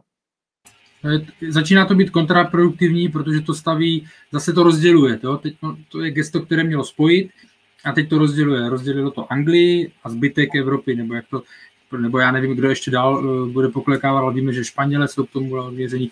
Skotové se rozhodli, že budou stát a akorát na znamení respektu vůči Anglii tam, tam pokleknou, ale, ale už je to věc, která to zase rozděluje. A to je špatně. Pojďme si dát jeden dotaz tady z chatu. Matyáš Kovařík píše, co říkáte na metr, který obecně nastavili rozočí na euru.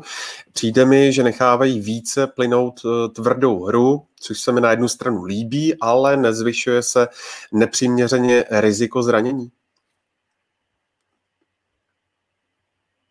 Já si myslím, že nemyslím si, že by se zvyšovalo riziko zranění, nebo nejsem si vědomý teďka, když tak mě opravte, nějakého brutálního faulu zatím na šampionátu. A za mě jako je to jedině dobře, pokud se našla nějaká ideální, ideální verze toho, jak by měli sudí pískat, nebo jestli se na, nebo respektive takhle bych to řekl. Je super, že se drží nějaký standard, který očividně sudí mají z nějaké výuky nebo prostě z nějakého semináře domluvený nebo mají jasné pravidla, jak by měli pískat. A pokud se tenhle standard bude udržovat ve všech zápasech a nebude jeden duel tak, druhý tak, tak je to ve mně, za mě naprosto v pořádku. A myslím, že rozhodčí zatím na šampionátu předvádí jako velice kvalitní práci, ať už to byla ta ruka, o které se mluvilo po tom prvním zápase, kdy co jsem sám, byla moje samozřejmě chyba, taky jsem reagoval, dost mě to překvapilo a byl jsem na Twitteru správně, teďka ne, nedokážu říct jméno, ale dobře by poslal, že od 1. června platí nová pravidla v téhle oblasti. A je skvělý, že rozhodčí okamžitě zareagovali správně.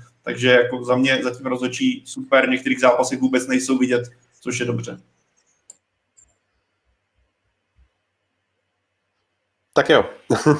Jasně. Mm, poslední jenom, k dnešku, jako dneska to je důkaz, jo, ten rozhodčí to zvládl velmi dobře, pouště, ne, nepískal každý kontakt, jo, takže tam to bylo, to zmiňovali vlastně uh, ve studiu, že jo, České televizi to uh, pánové zmiňovali velmi dobře. Já bych tomu jenom řekl, že za mě uh, je rozhodně důležitý, aby ten metr fakt, jak říkal Pavel, v každém zápase byl stejný. A myslím si, že to ty rozhodčí zvládají dobře. A právě já třeba když to srovnám s Českou ligou. Mně tam někdy přijde, že ty rozhodčí v podstatě nějakým způsobem ani sami nemají ten metr uh, ucelený a že pro někoho je něco faul a pro druhého to právě, že faul není. A tím, jak vidíme ty rozdíly třeba u nás, tak uh, potom z toho vznikají právě nějaký, uh, když to řeknu, problémy. Když to tady vidíme jasný metr, i když je to tvrdší, tak právě žádný jako extra surový zákroky naštěstí a ta hra má spát. Jako i to, já, já jsem z toho nadšený a myslím si, že uh, asi to tak má být, protože na tom mistrovství Evropy jsou ty nejlepší a uh, proto tam jsou. Uh, poslední věc k tomuhle bloku za ty čtyři dny, co se Euro hraje, je tam nějaký zápas, nějaká situace, nějaký hráč, který vás hodně zaujal. Na mátkou napadá mě třeba třeba 17-letý Bellingham včera v tom utkání, Anglie, Chorvatsko, nebo mě třeba hodně zaujal ten, ten nizozemský obránce Denzel Dumfries. Máte tam něco? To tak pěkně vyjmenoval, no. Jako zaujalo mě, co mě zaujalo. Nevýrazný Chorvati rozhodně, i když jak Karel říkal, že se mu to pak rozleželo v hlavě, tak pořád jsem čekal od Chorvatska trochu něco víc. Řekl bych i krásný gól, ať už je to Patrik Šik, tak i za Ukrajinu Jarmolenko to byl, to tam nasypal jako na pána úplně. Je vidět, že ty balony se asi jsou dělaný tak, že střelci střelci sedí, respektive, že se dobře nesou vzduchem, že připadá mi, že jako, když, když to sedne, tak to letí pěkně. No a co dalšího? No a Itálie pro mě potvrdila to, co, co jsme se bavili v posledním podcastu, že ač jsem před tím šampionátem eh, nebo před tím zápasem s českým týmem, já jsem je do té doby moc neviděl, tak to, co předvedli proti Čechům, mě velmi zaujalo, tak eh, to, co předvedli Turkům, proti Turkům, v tom jenom pokračovali. A zaujal mě vlastně, jo, to si pamatuju ten moment Giorgio Chiellini, který tam jednou se vletěl takovým stylem, že to tam chtěl napálit ze stopera, který úplně není moc gólový, tak jako takový, takový hurá, hurá styl, to mě zaujalo. Starý děda z Juventusu, jak se říká. Tak jako tohle mě, to, to, to jako takový body, co mě napadnou teďka. Hmm, Pavel, to vymě, vy jste to vyjmenovali všechno, mě nejvíc tím pádem zaujalo to autíčko, co přivezlo eh, ten míč před tím prvním zápasem. Bylo hezký. Dál. Dál, OK, nevím, dál. Fotbalu dál. Od české skupiny se musíme posunout eh, zatím asi k nejvýraznějšímu momentu eh, eura. Naštěstí to všechno dopadlo i přes, té, i přes ty dramatické okolnosti dobře a to je ten mm, kolaps Christiana Eriksena v utkání Dánsko-Finsko. Eh, Kubo, ty jako dlouholetý ligový hráč, když se podíváme na tu prevenci, jaká v lize panuje proti podobným věcem, tak eh, chodíte na nějaké pravidelné vyšetření, jak to funguje? Jo, to je to daný od ligy, že máš chodit jednou za rok eh, vlastně na, na takovýhle vyšetření zátěžový, na srdce EKG, takže v tomto směru, pak když je tam třeba nějaký drobný problém, tak samozřejmě to vyšetření je potom trošku podrobnější, takže e, nějaká prevence tady je, nicméně právě po tomto incidentu vím, že někdo i na tom Twitteru psal nějakou poznámku od e, bývalého útočníka Meduny, že právě jemu, když se na to přišlo, takže to vyšetření stálo nějakých 200 tisíc korun, a to už bylo nějaký extra podrobný a teprve tam se zjistilo, co mu nějakým způsobem je. Takže v tomhle směru takhle e, ty vyšetření jako asi podrobný nejsou, že teďka.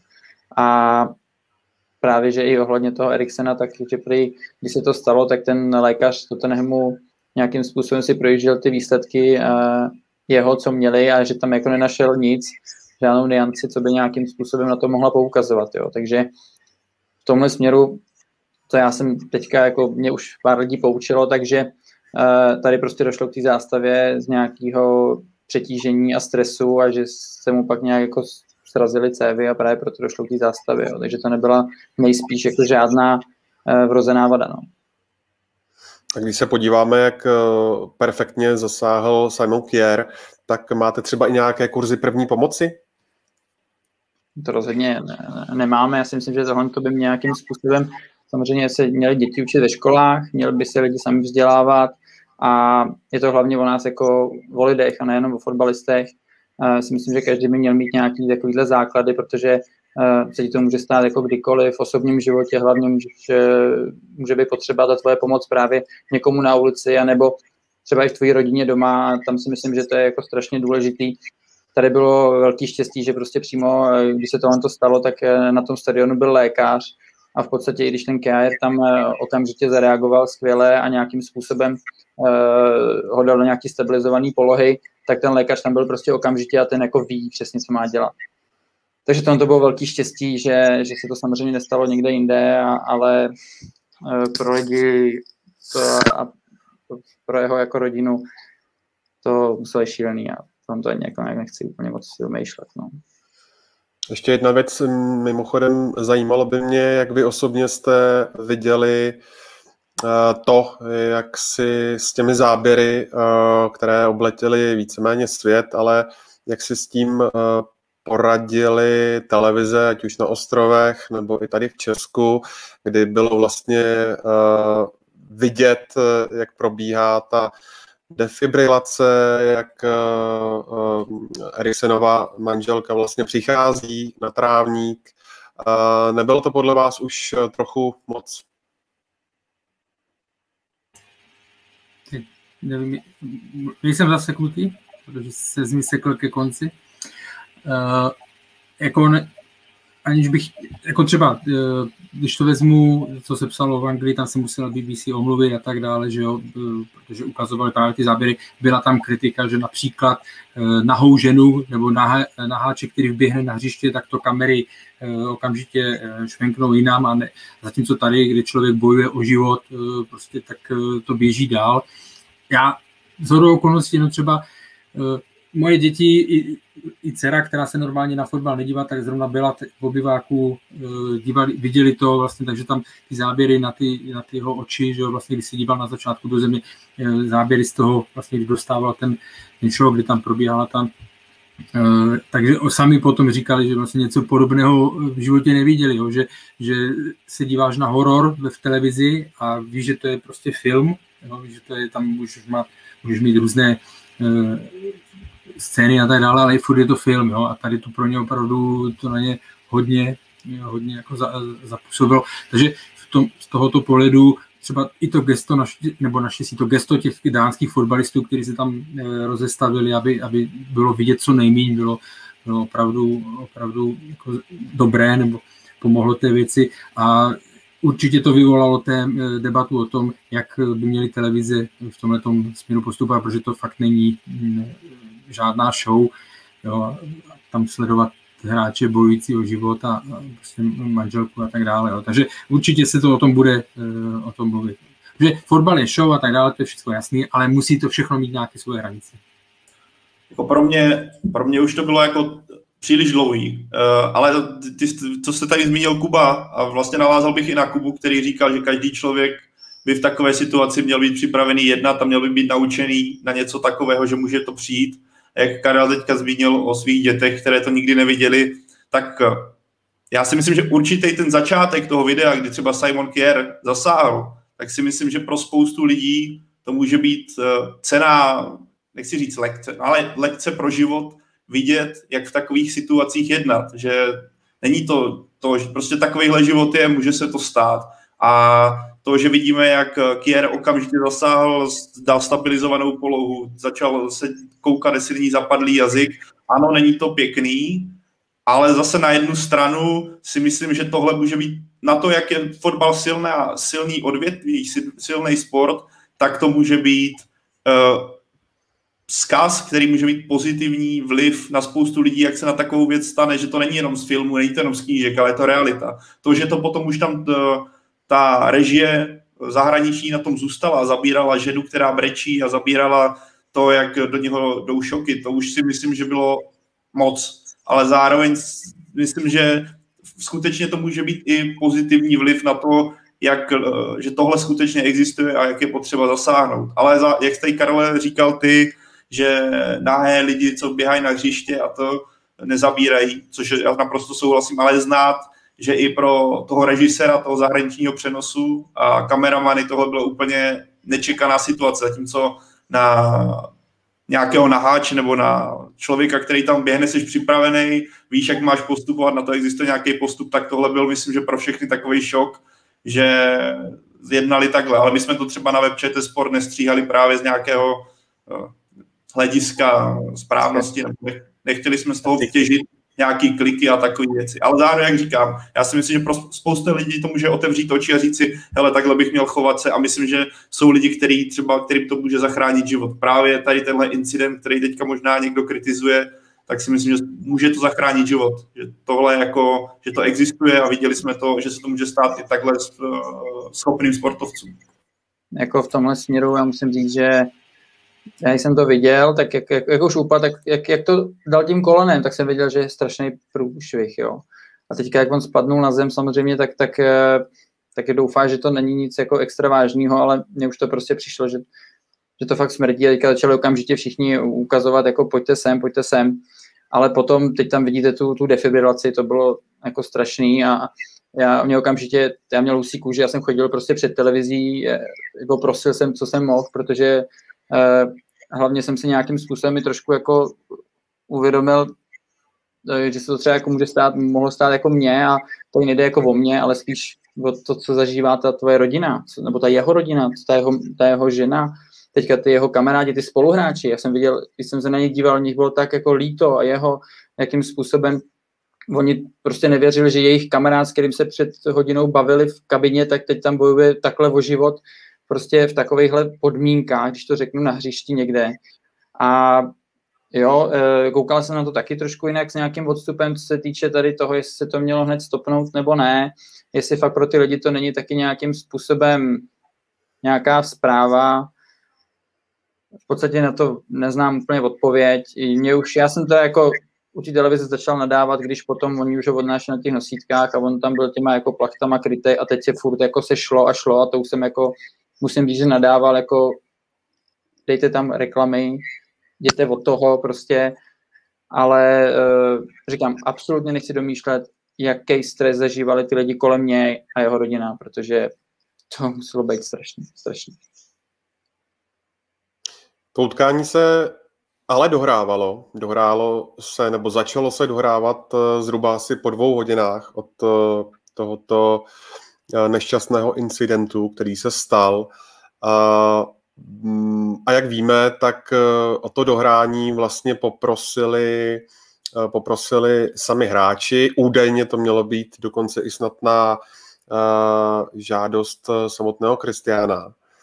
Tak bylo to správné, Kubo? Tak, to mě to, za mě to správný nebylo, protože já vím, já vím, že kdybych v té situaci byl taky, nebo nějakýma hráčema, tak se rozhodneme stejně. Ty chceš hrát, ten, i ten Kristián tím, že on jim nějakým způsobem pak s nima komunikoval, takže vlastně ty si řekneš, vyhrajeme za něj, jdeme, jdeme prostě hrát za něj. Ale já si myslím, že hráči v takovýchhle stresových situacích nebo lidi kolem, ten realizák a tohle, o tomhle rozhodovat nemůžou. A nevím, jestli je to pravda, co jsem slyšel potom, že vlastně UEFA jim nenabídla náhradní termín. Jo to nevím, jestli potom, jestli byla pravda úplně nebo ne, že nabídla náhradní termín, což by pro ně znamenalo, že tím pádem by ten zápas kontumovali a asi by se nejspíš připravili o jakoukoliv šanci na tom mistrovství něco uhrát.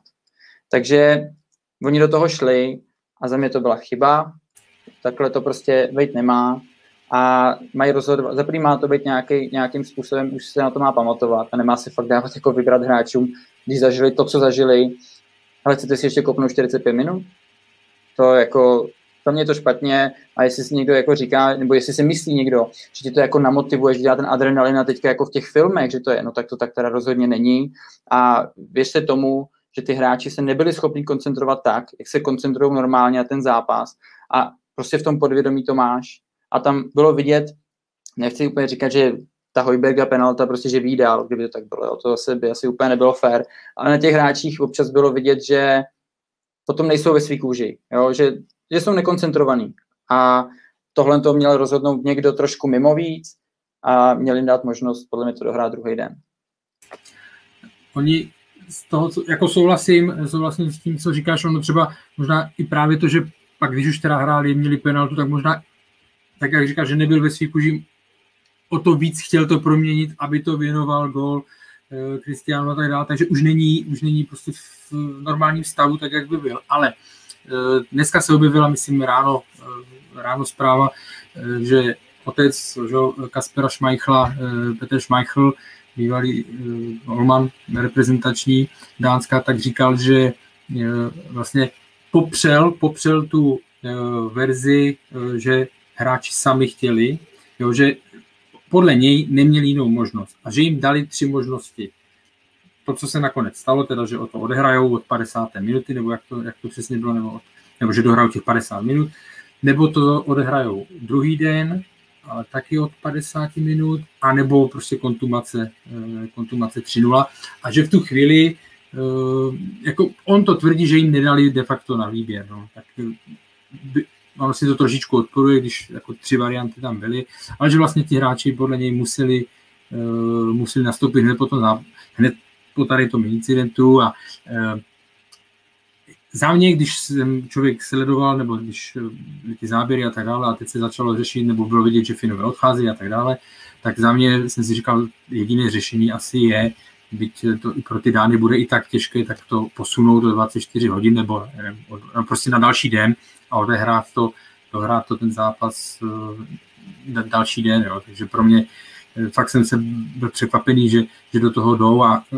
chápu, že vůbec jsem se pak tomu výsledku nedivil, protože to prostě nejde být nějaký, ne, zůstat namotivovaný, koncentrovaný, nebo tak, jak říká Kuba. Tohle je už jako až moc, to už není ten faktor, který vás může k něčemu pomoct, jo, který vás může k něčemu nabudit. Tohle, tam jsme viděli ty hráči, jak byli prostě vystresovaný a to se za jednu hodinu, byť měli potom do, jako už pozitivnější zprávy, tak to se za jednu hodinu nezmění.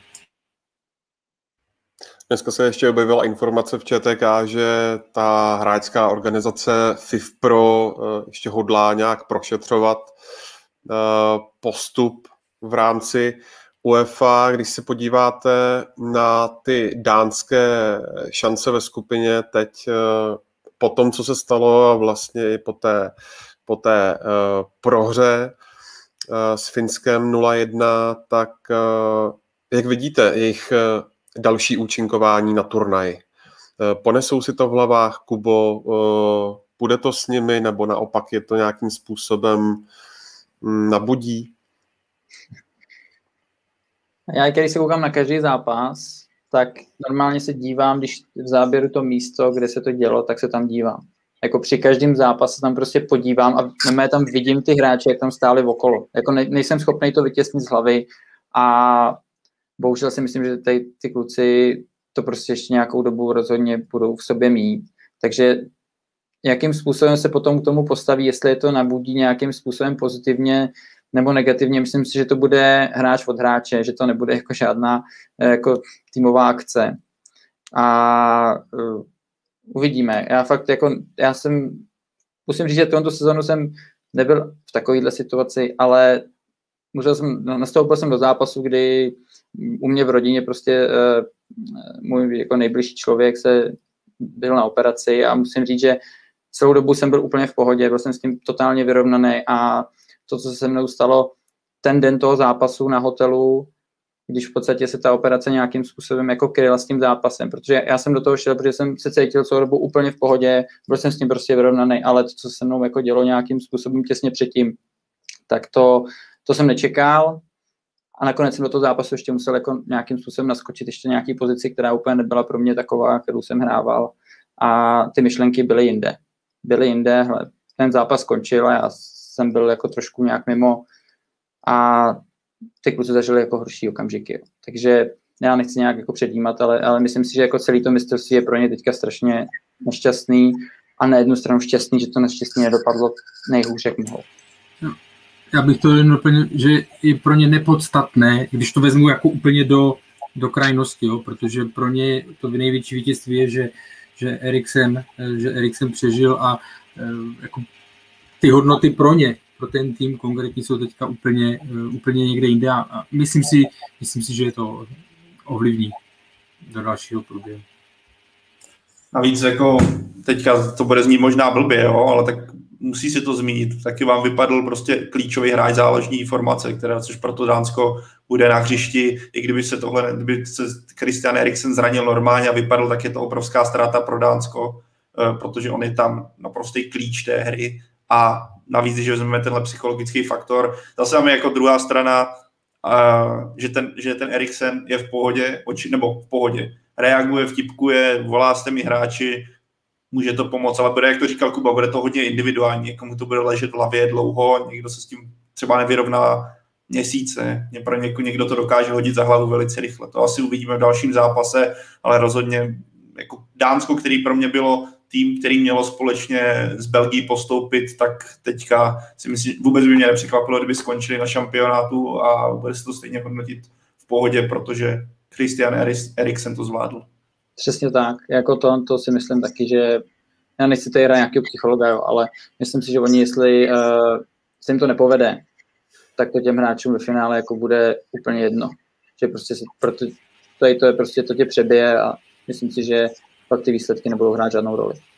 Tam jenom ten dánský, nebo titulek těch, eh, myslím, extra blooded, nebo kde to bylo, že, tak ten se může vlastně protáhnout na celý, na celé mistrovství. Dánsko prohrálo, ale vyhrál život a to je pro ně teď to, to zásadní.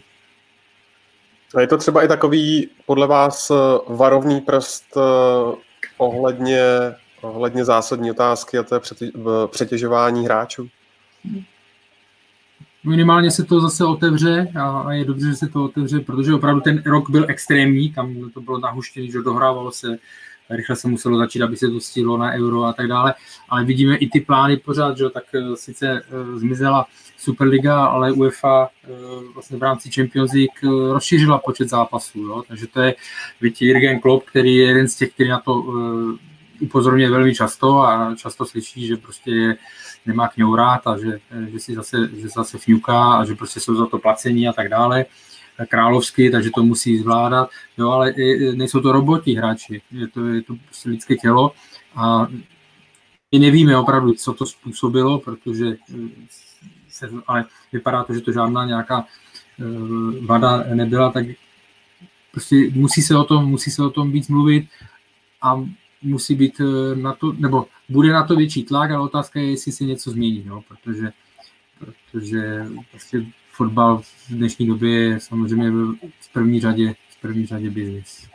Já v tomhle řeknu jedno, za mě je chyba tehdy, když ty hráči, ty, jak jsem říkal, psal jsem to na Twitteru, top hráči mají prostě těch soutěží X a když po nějaký takový soutěži, turnaj, jako je mistrovství Evropy nebo mistrovství světa, musí dostávat od klubu extra volno a nestihnou svý první ligový zápasy, tak tam se přece jasně ukazuje, že prostě ten schedule všech těch zápasů je nabitý, je přetížený hmm. a že tyhle ty top hráči v podstatě nemají možnost nějakým způsobem jako relaxovat a ty tréninkové procesy se nějakým způsobem jako dostávají jako fakt k nějaký hraně. Jo. Já neříkám, že se mají ty zápasy ubírat vůbec, ale určitě je důležité o tom diskutovat, ale prostě není možné, aby hráči museli dostávat extra volno a nestíhali tím nějaký zápasy prostě svého klubu třeba. Jo. To prostě už, tam už je jasně vidět, že už my eh, musíme dávat něco extra, aby, aby to tempo těch zápasů dokázali zvládat. Jo.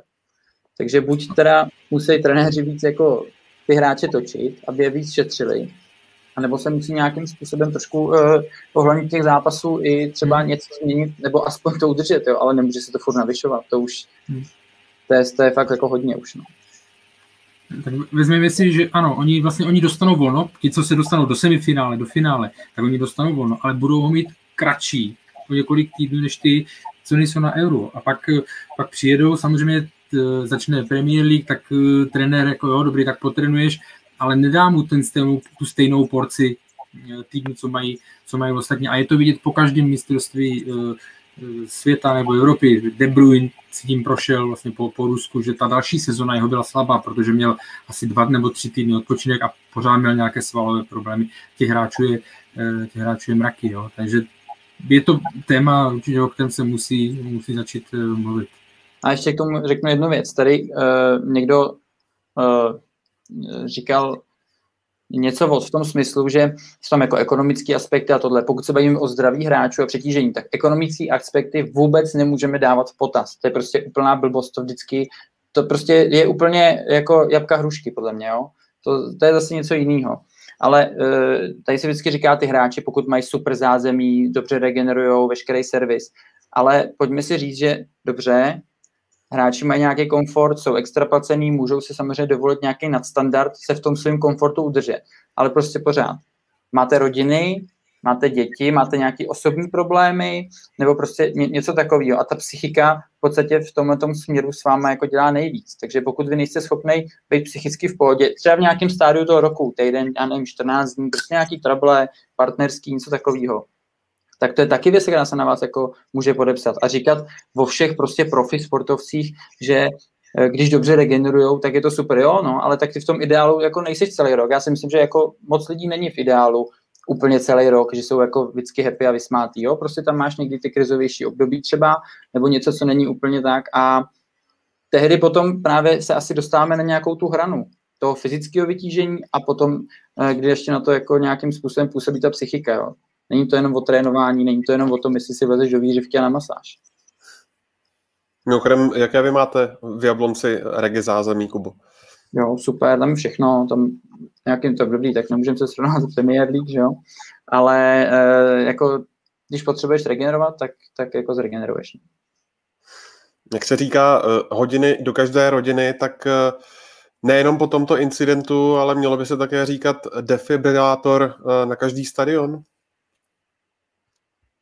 Já, já myslím, že jako ligo, liga, myslím, že první, druhá to mít musí, nebo má, to vím, a zbytek nevím, bohužel to, ale rozhodně si myslím, že to je třeba věc, která se nějakým způsobem dá si půjčovat, že jo, jak je přenosná, tak uh, já nechci teďka někomu křivdit, třeba už to funguje, jo, ale proč ne, tak vidíme, že to někomu zachránilo život, jo, takže, takže asi si myslím, že uh, by to na těch zápasech být mělo, i kdyby to mělo zachránit třeba jenom jeden život další.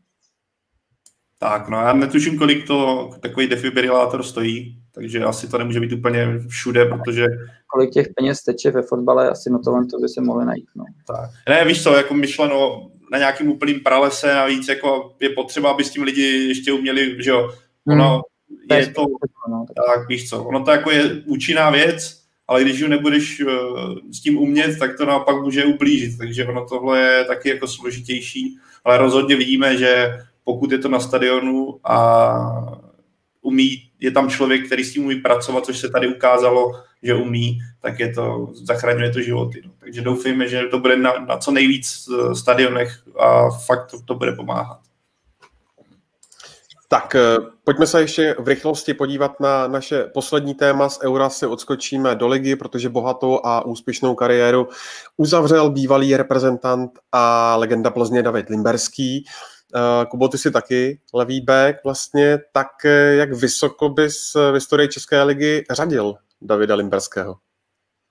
Tak nějaký takhle eh, úplně žebříček si netroufám, ale musím říct, že on byl opravdu uh, ikona České ligy, rozhodně na té pozici, uh, budil emoce na obě strany, ale já, když ho chci hodnotit teďka jenom z toho fotbalového hlediska, tak musím říct, že skvělý hráč, já jsem se na něj rád koukal, ty jeho šajtle to prostě mělo v oči a bylo to něco netradičního a na té vrcholní úrovni se, se udržel jako spoustu let a tu Plzeň prostě táhnul. Jo. Jako nejen on, ale on byl vždycky jeden z těch, kteří prostě podávali stabilně výborný výkony a měl takřka jako minimální výkyvy.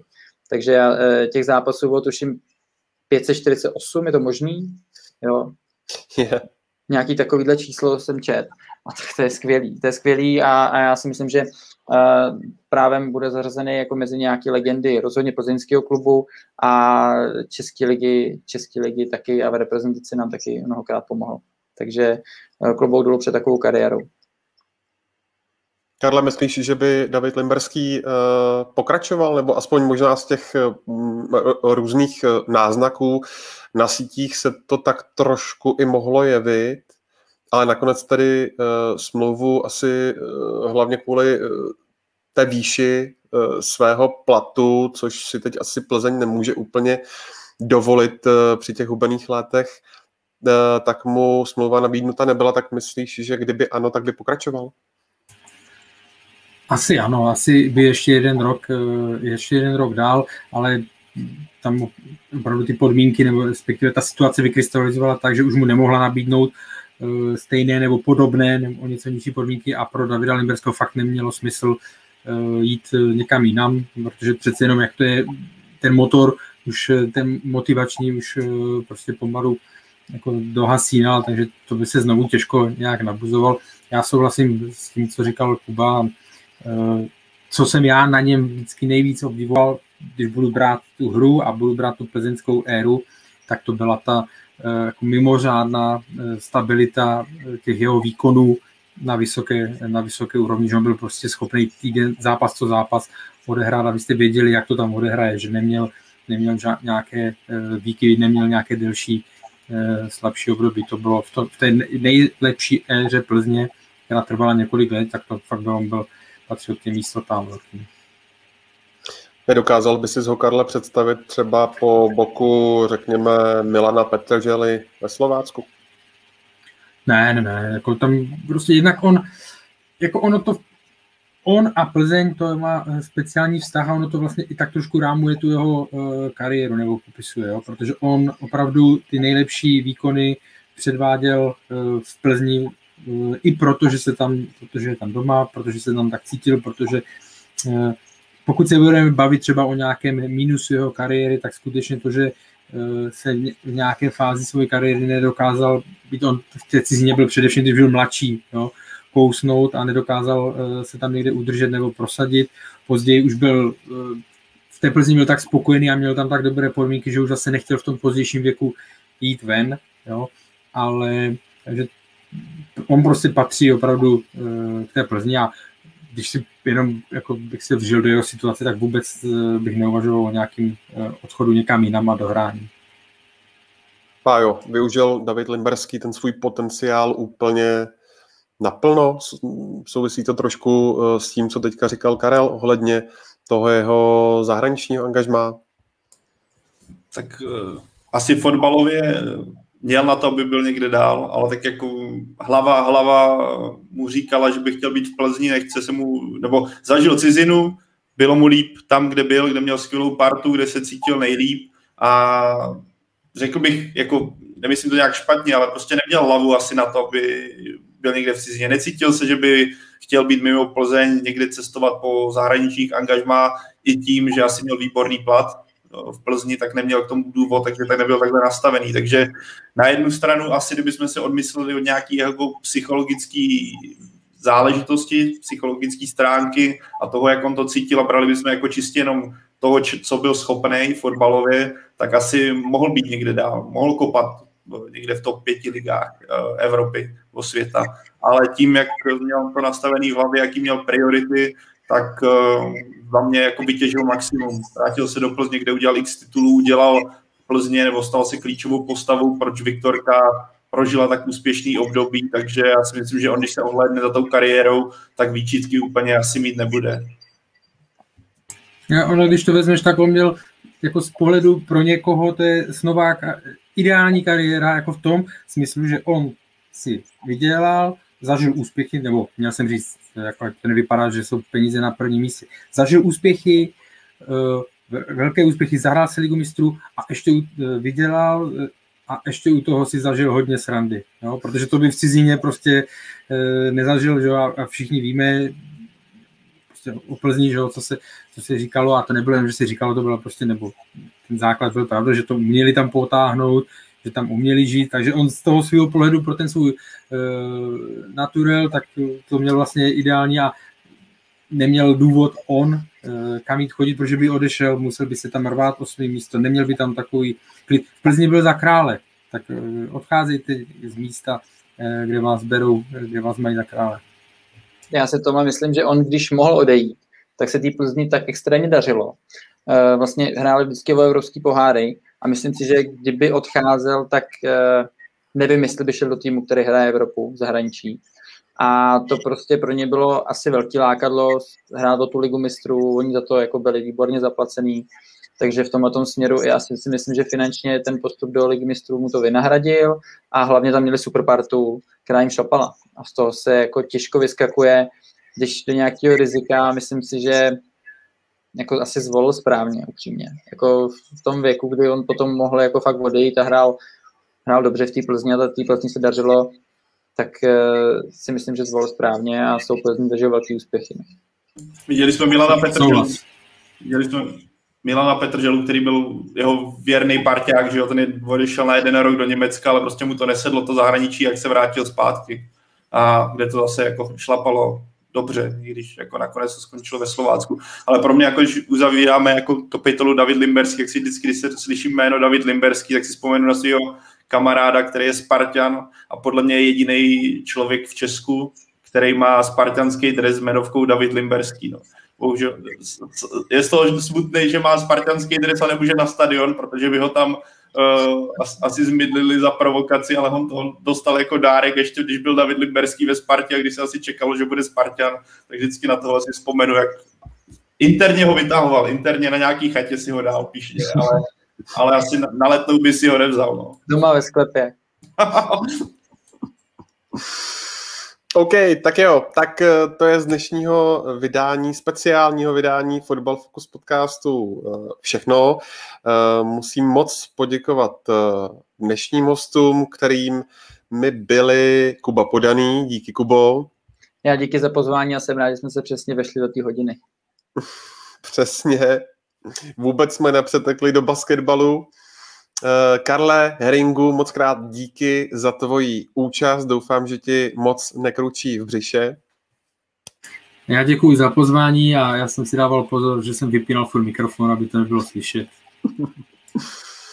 a musím poděkovat taky Pavlu Jahodovi z webu Sport.cz, takže díky Páju. Díky Ondřej, díky kluci, jinak mám zprávu teďka, právě došlo k vyhodnocení prvního kola soutěže a jestli nás poslouchá Michal Švarc tak je v trháku, má sedm bodů, pak je za ním spoustu vlčáků, takže bych jako nespichnul, rozhodně neusnul na Vavřínech, ale Michal Švarc je teďka v současnosti jako top, top zatím vede, takže, ale jinak díky moc, kdo poslouchal, díky moc, kdo nepřepl na Španělsko, zůstal s námi a díky moc vy, kdo typujete. Věřím, že na Euro ještě bude dost zábavy. A díky moc eh, taky všem, kdo nás budou poslouchat i ze záznamu. No a ještě krátká informace ohledně eh, příštího vysílání, protože to nastane někdy eh, v sobotu ráno nebo brzy dopoledne po tom pátečním utkání Chorvatsko-Česko. Do té doby se mějte krásně, vězte, že tenhle i minulá vydání Football Focus podcastu najdete ve všech podcastových aplikacích anebo na webu fotbalfocus.cz. Mějte se krásně, užívejte si uh, uh, fotbalový, fotbalový svátek, uh, hlavně na české televizi.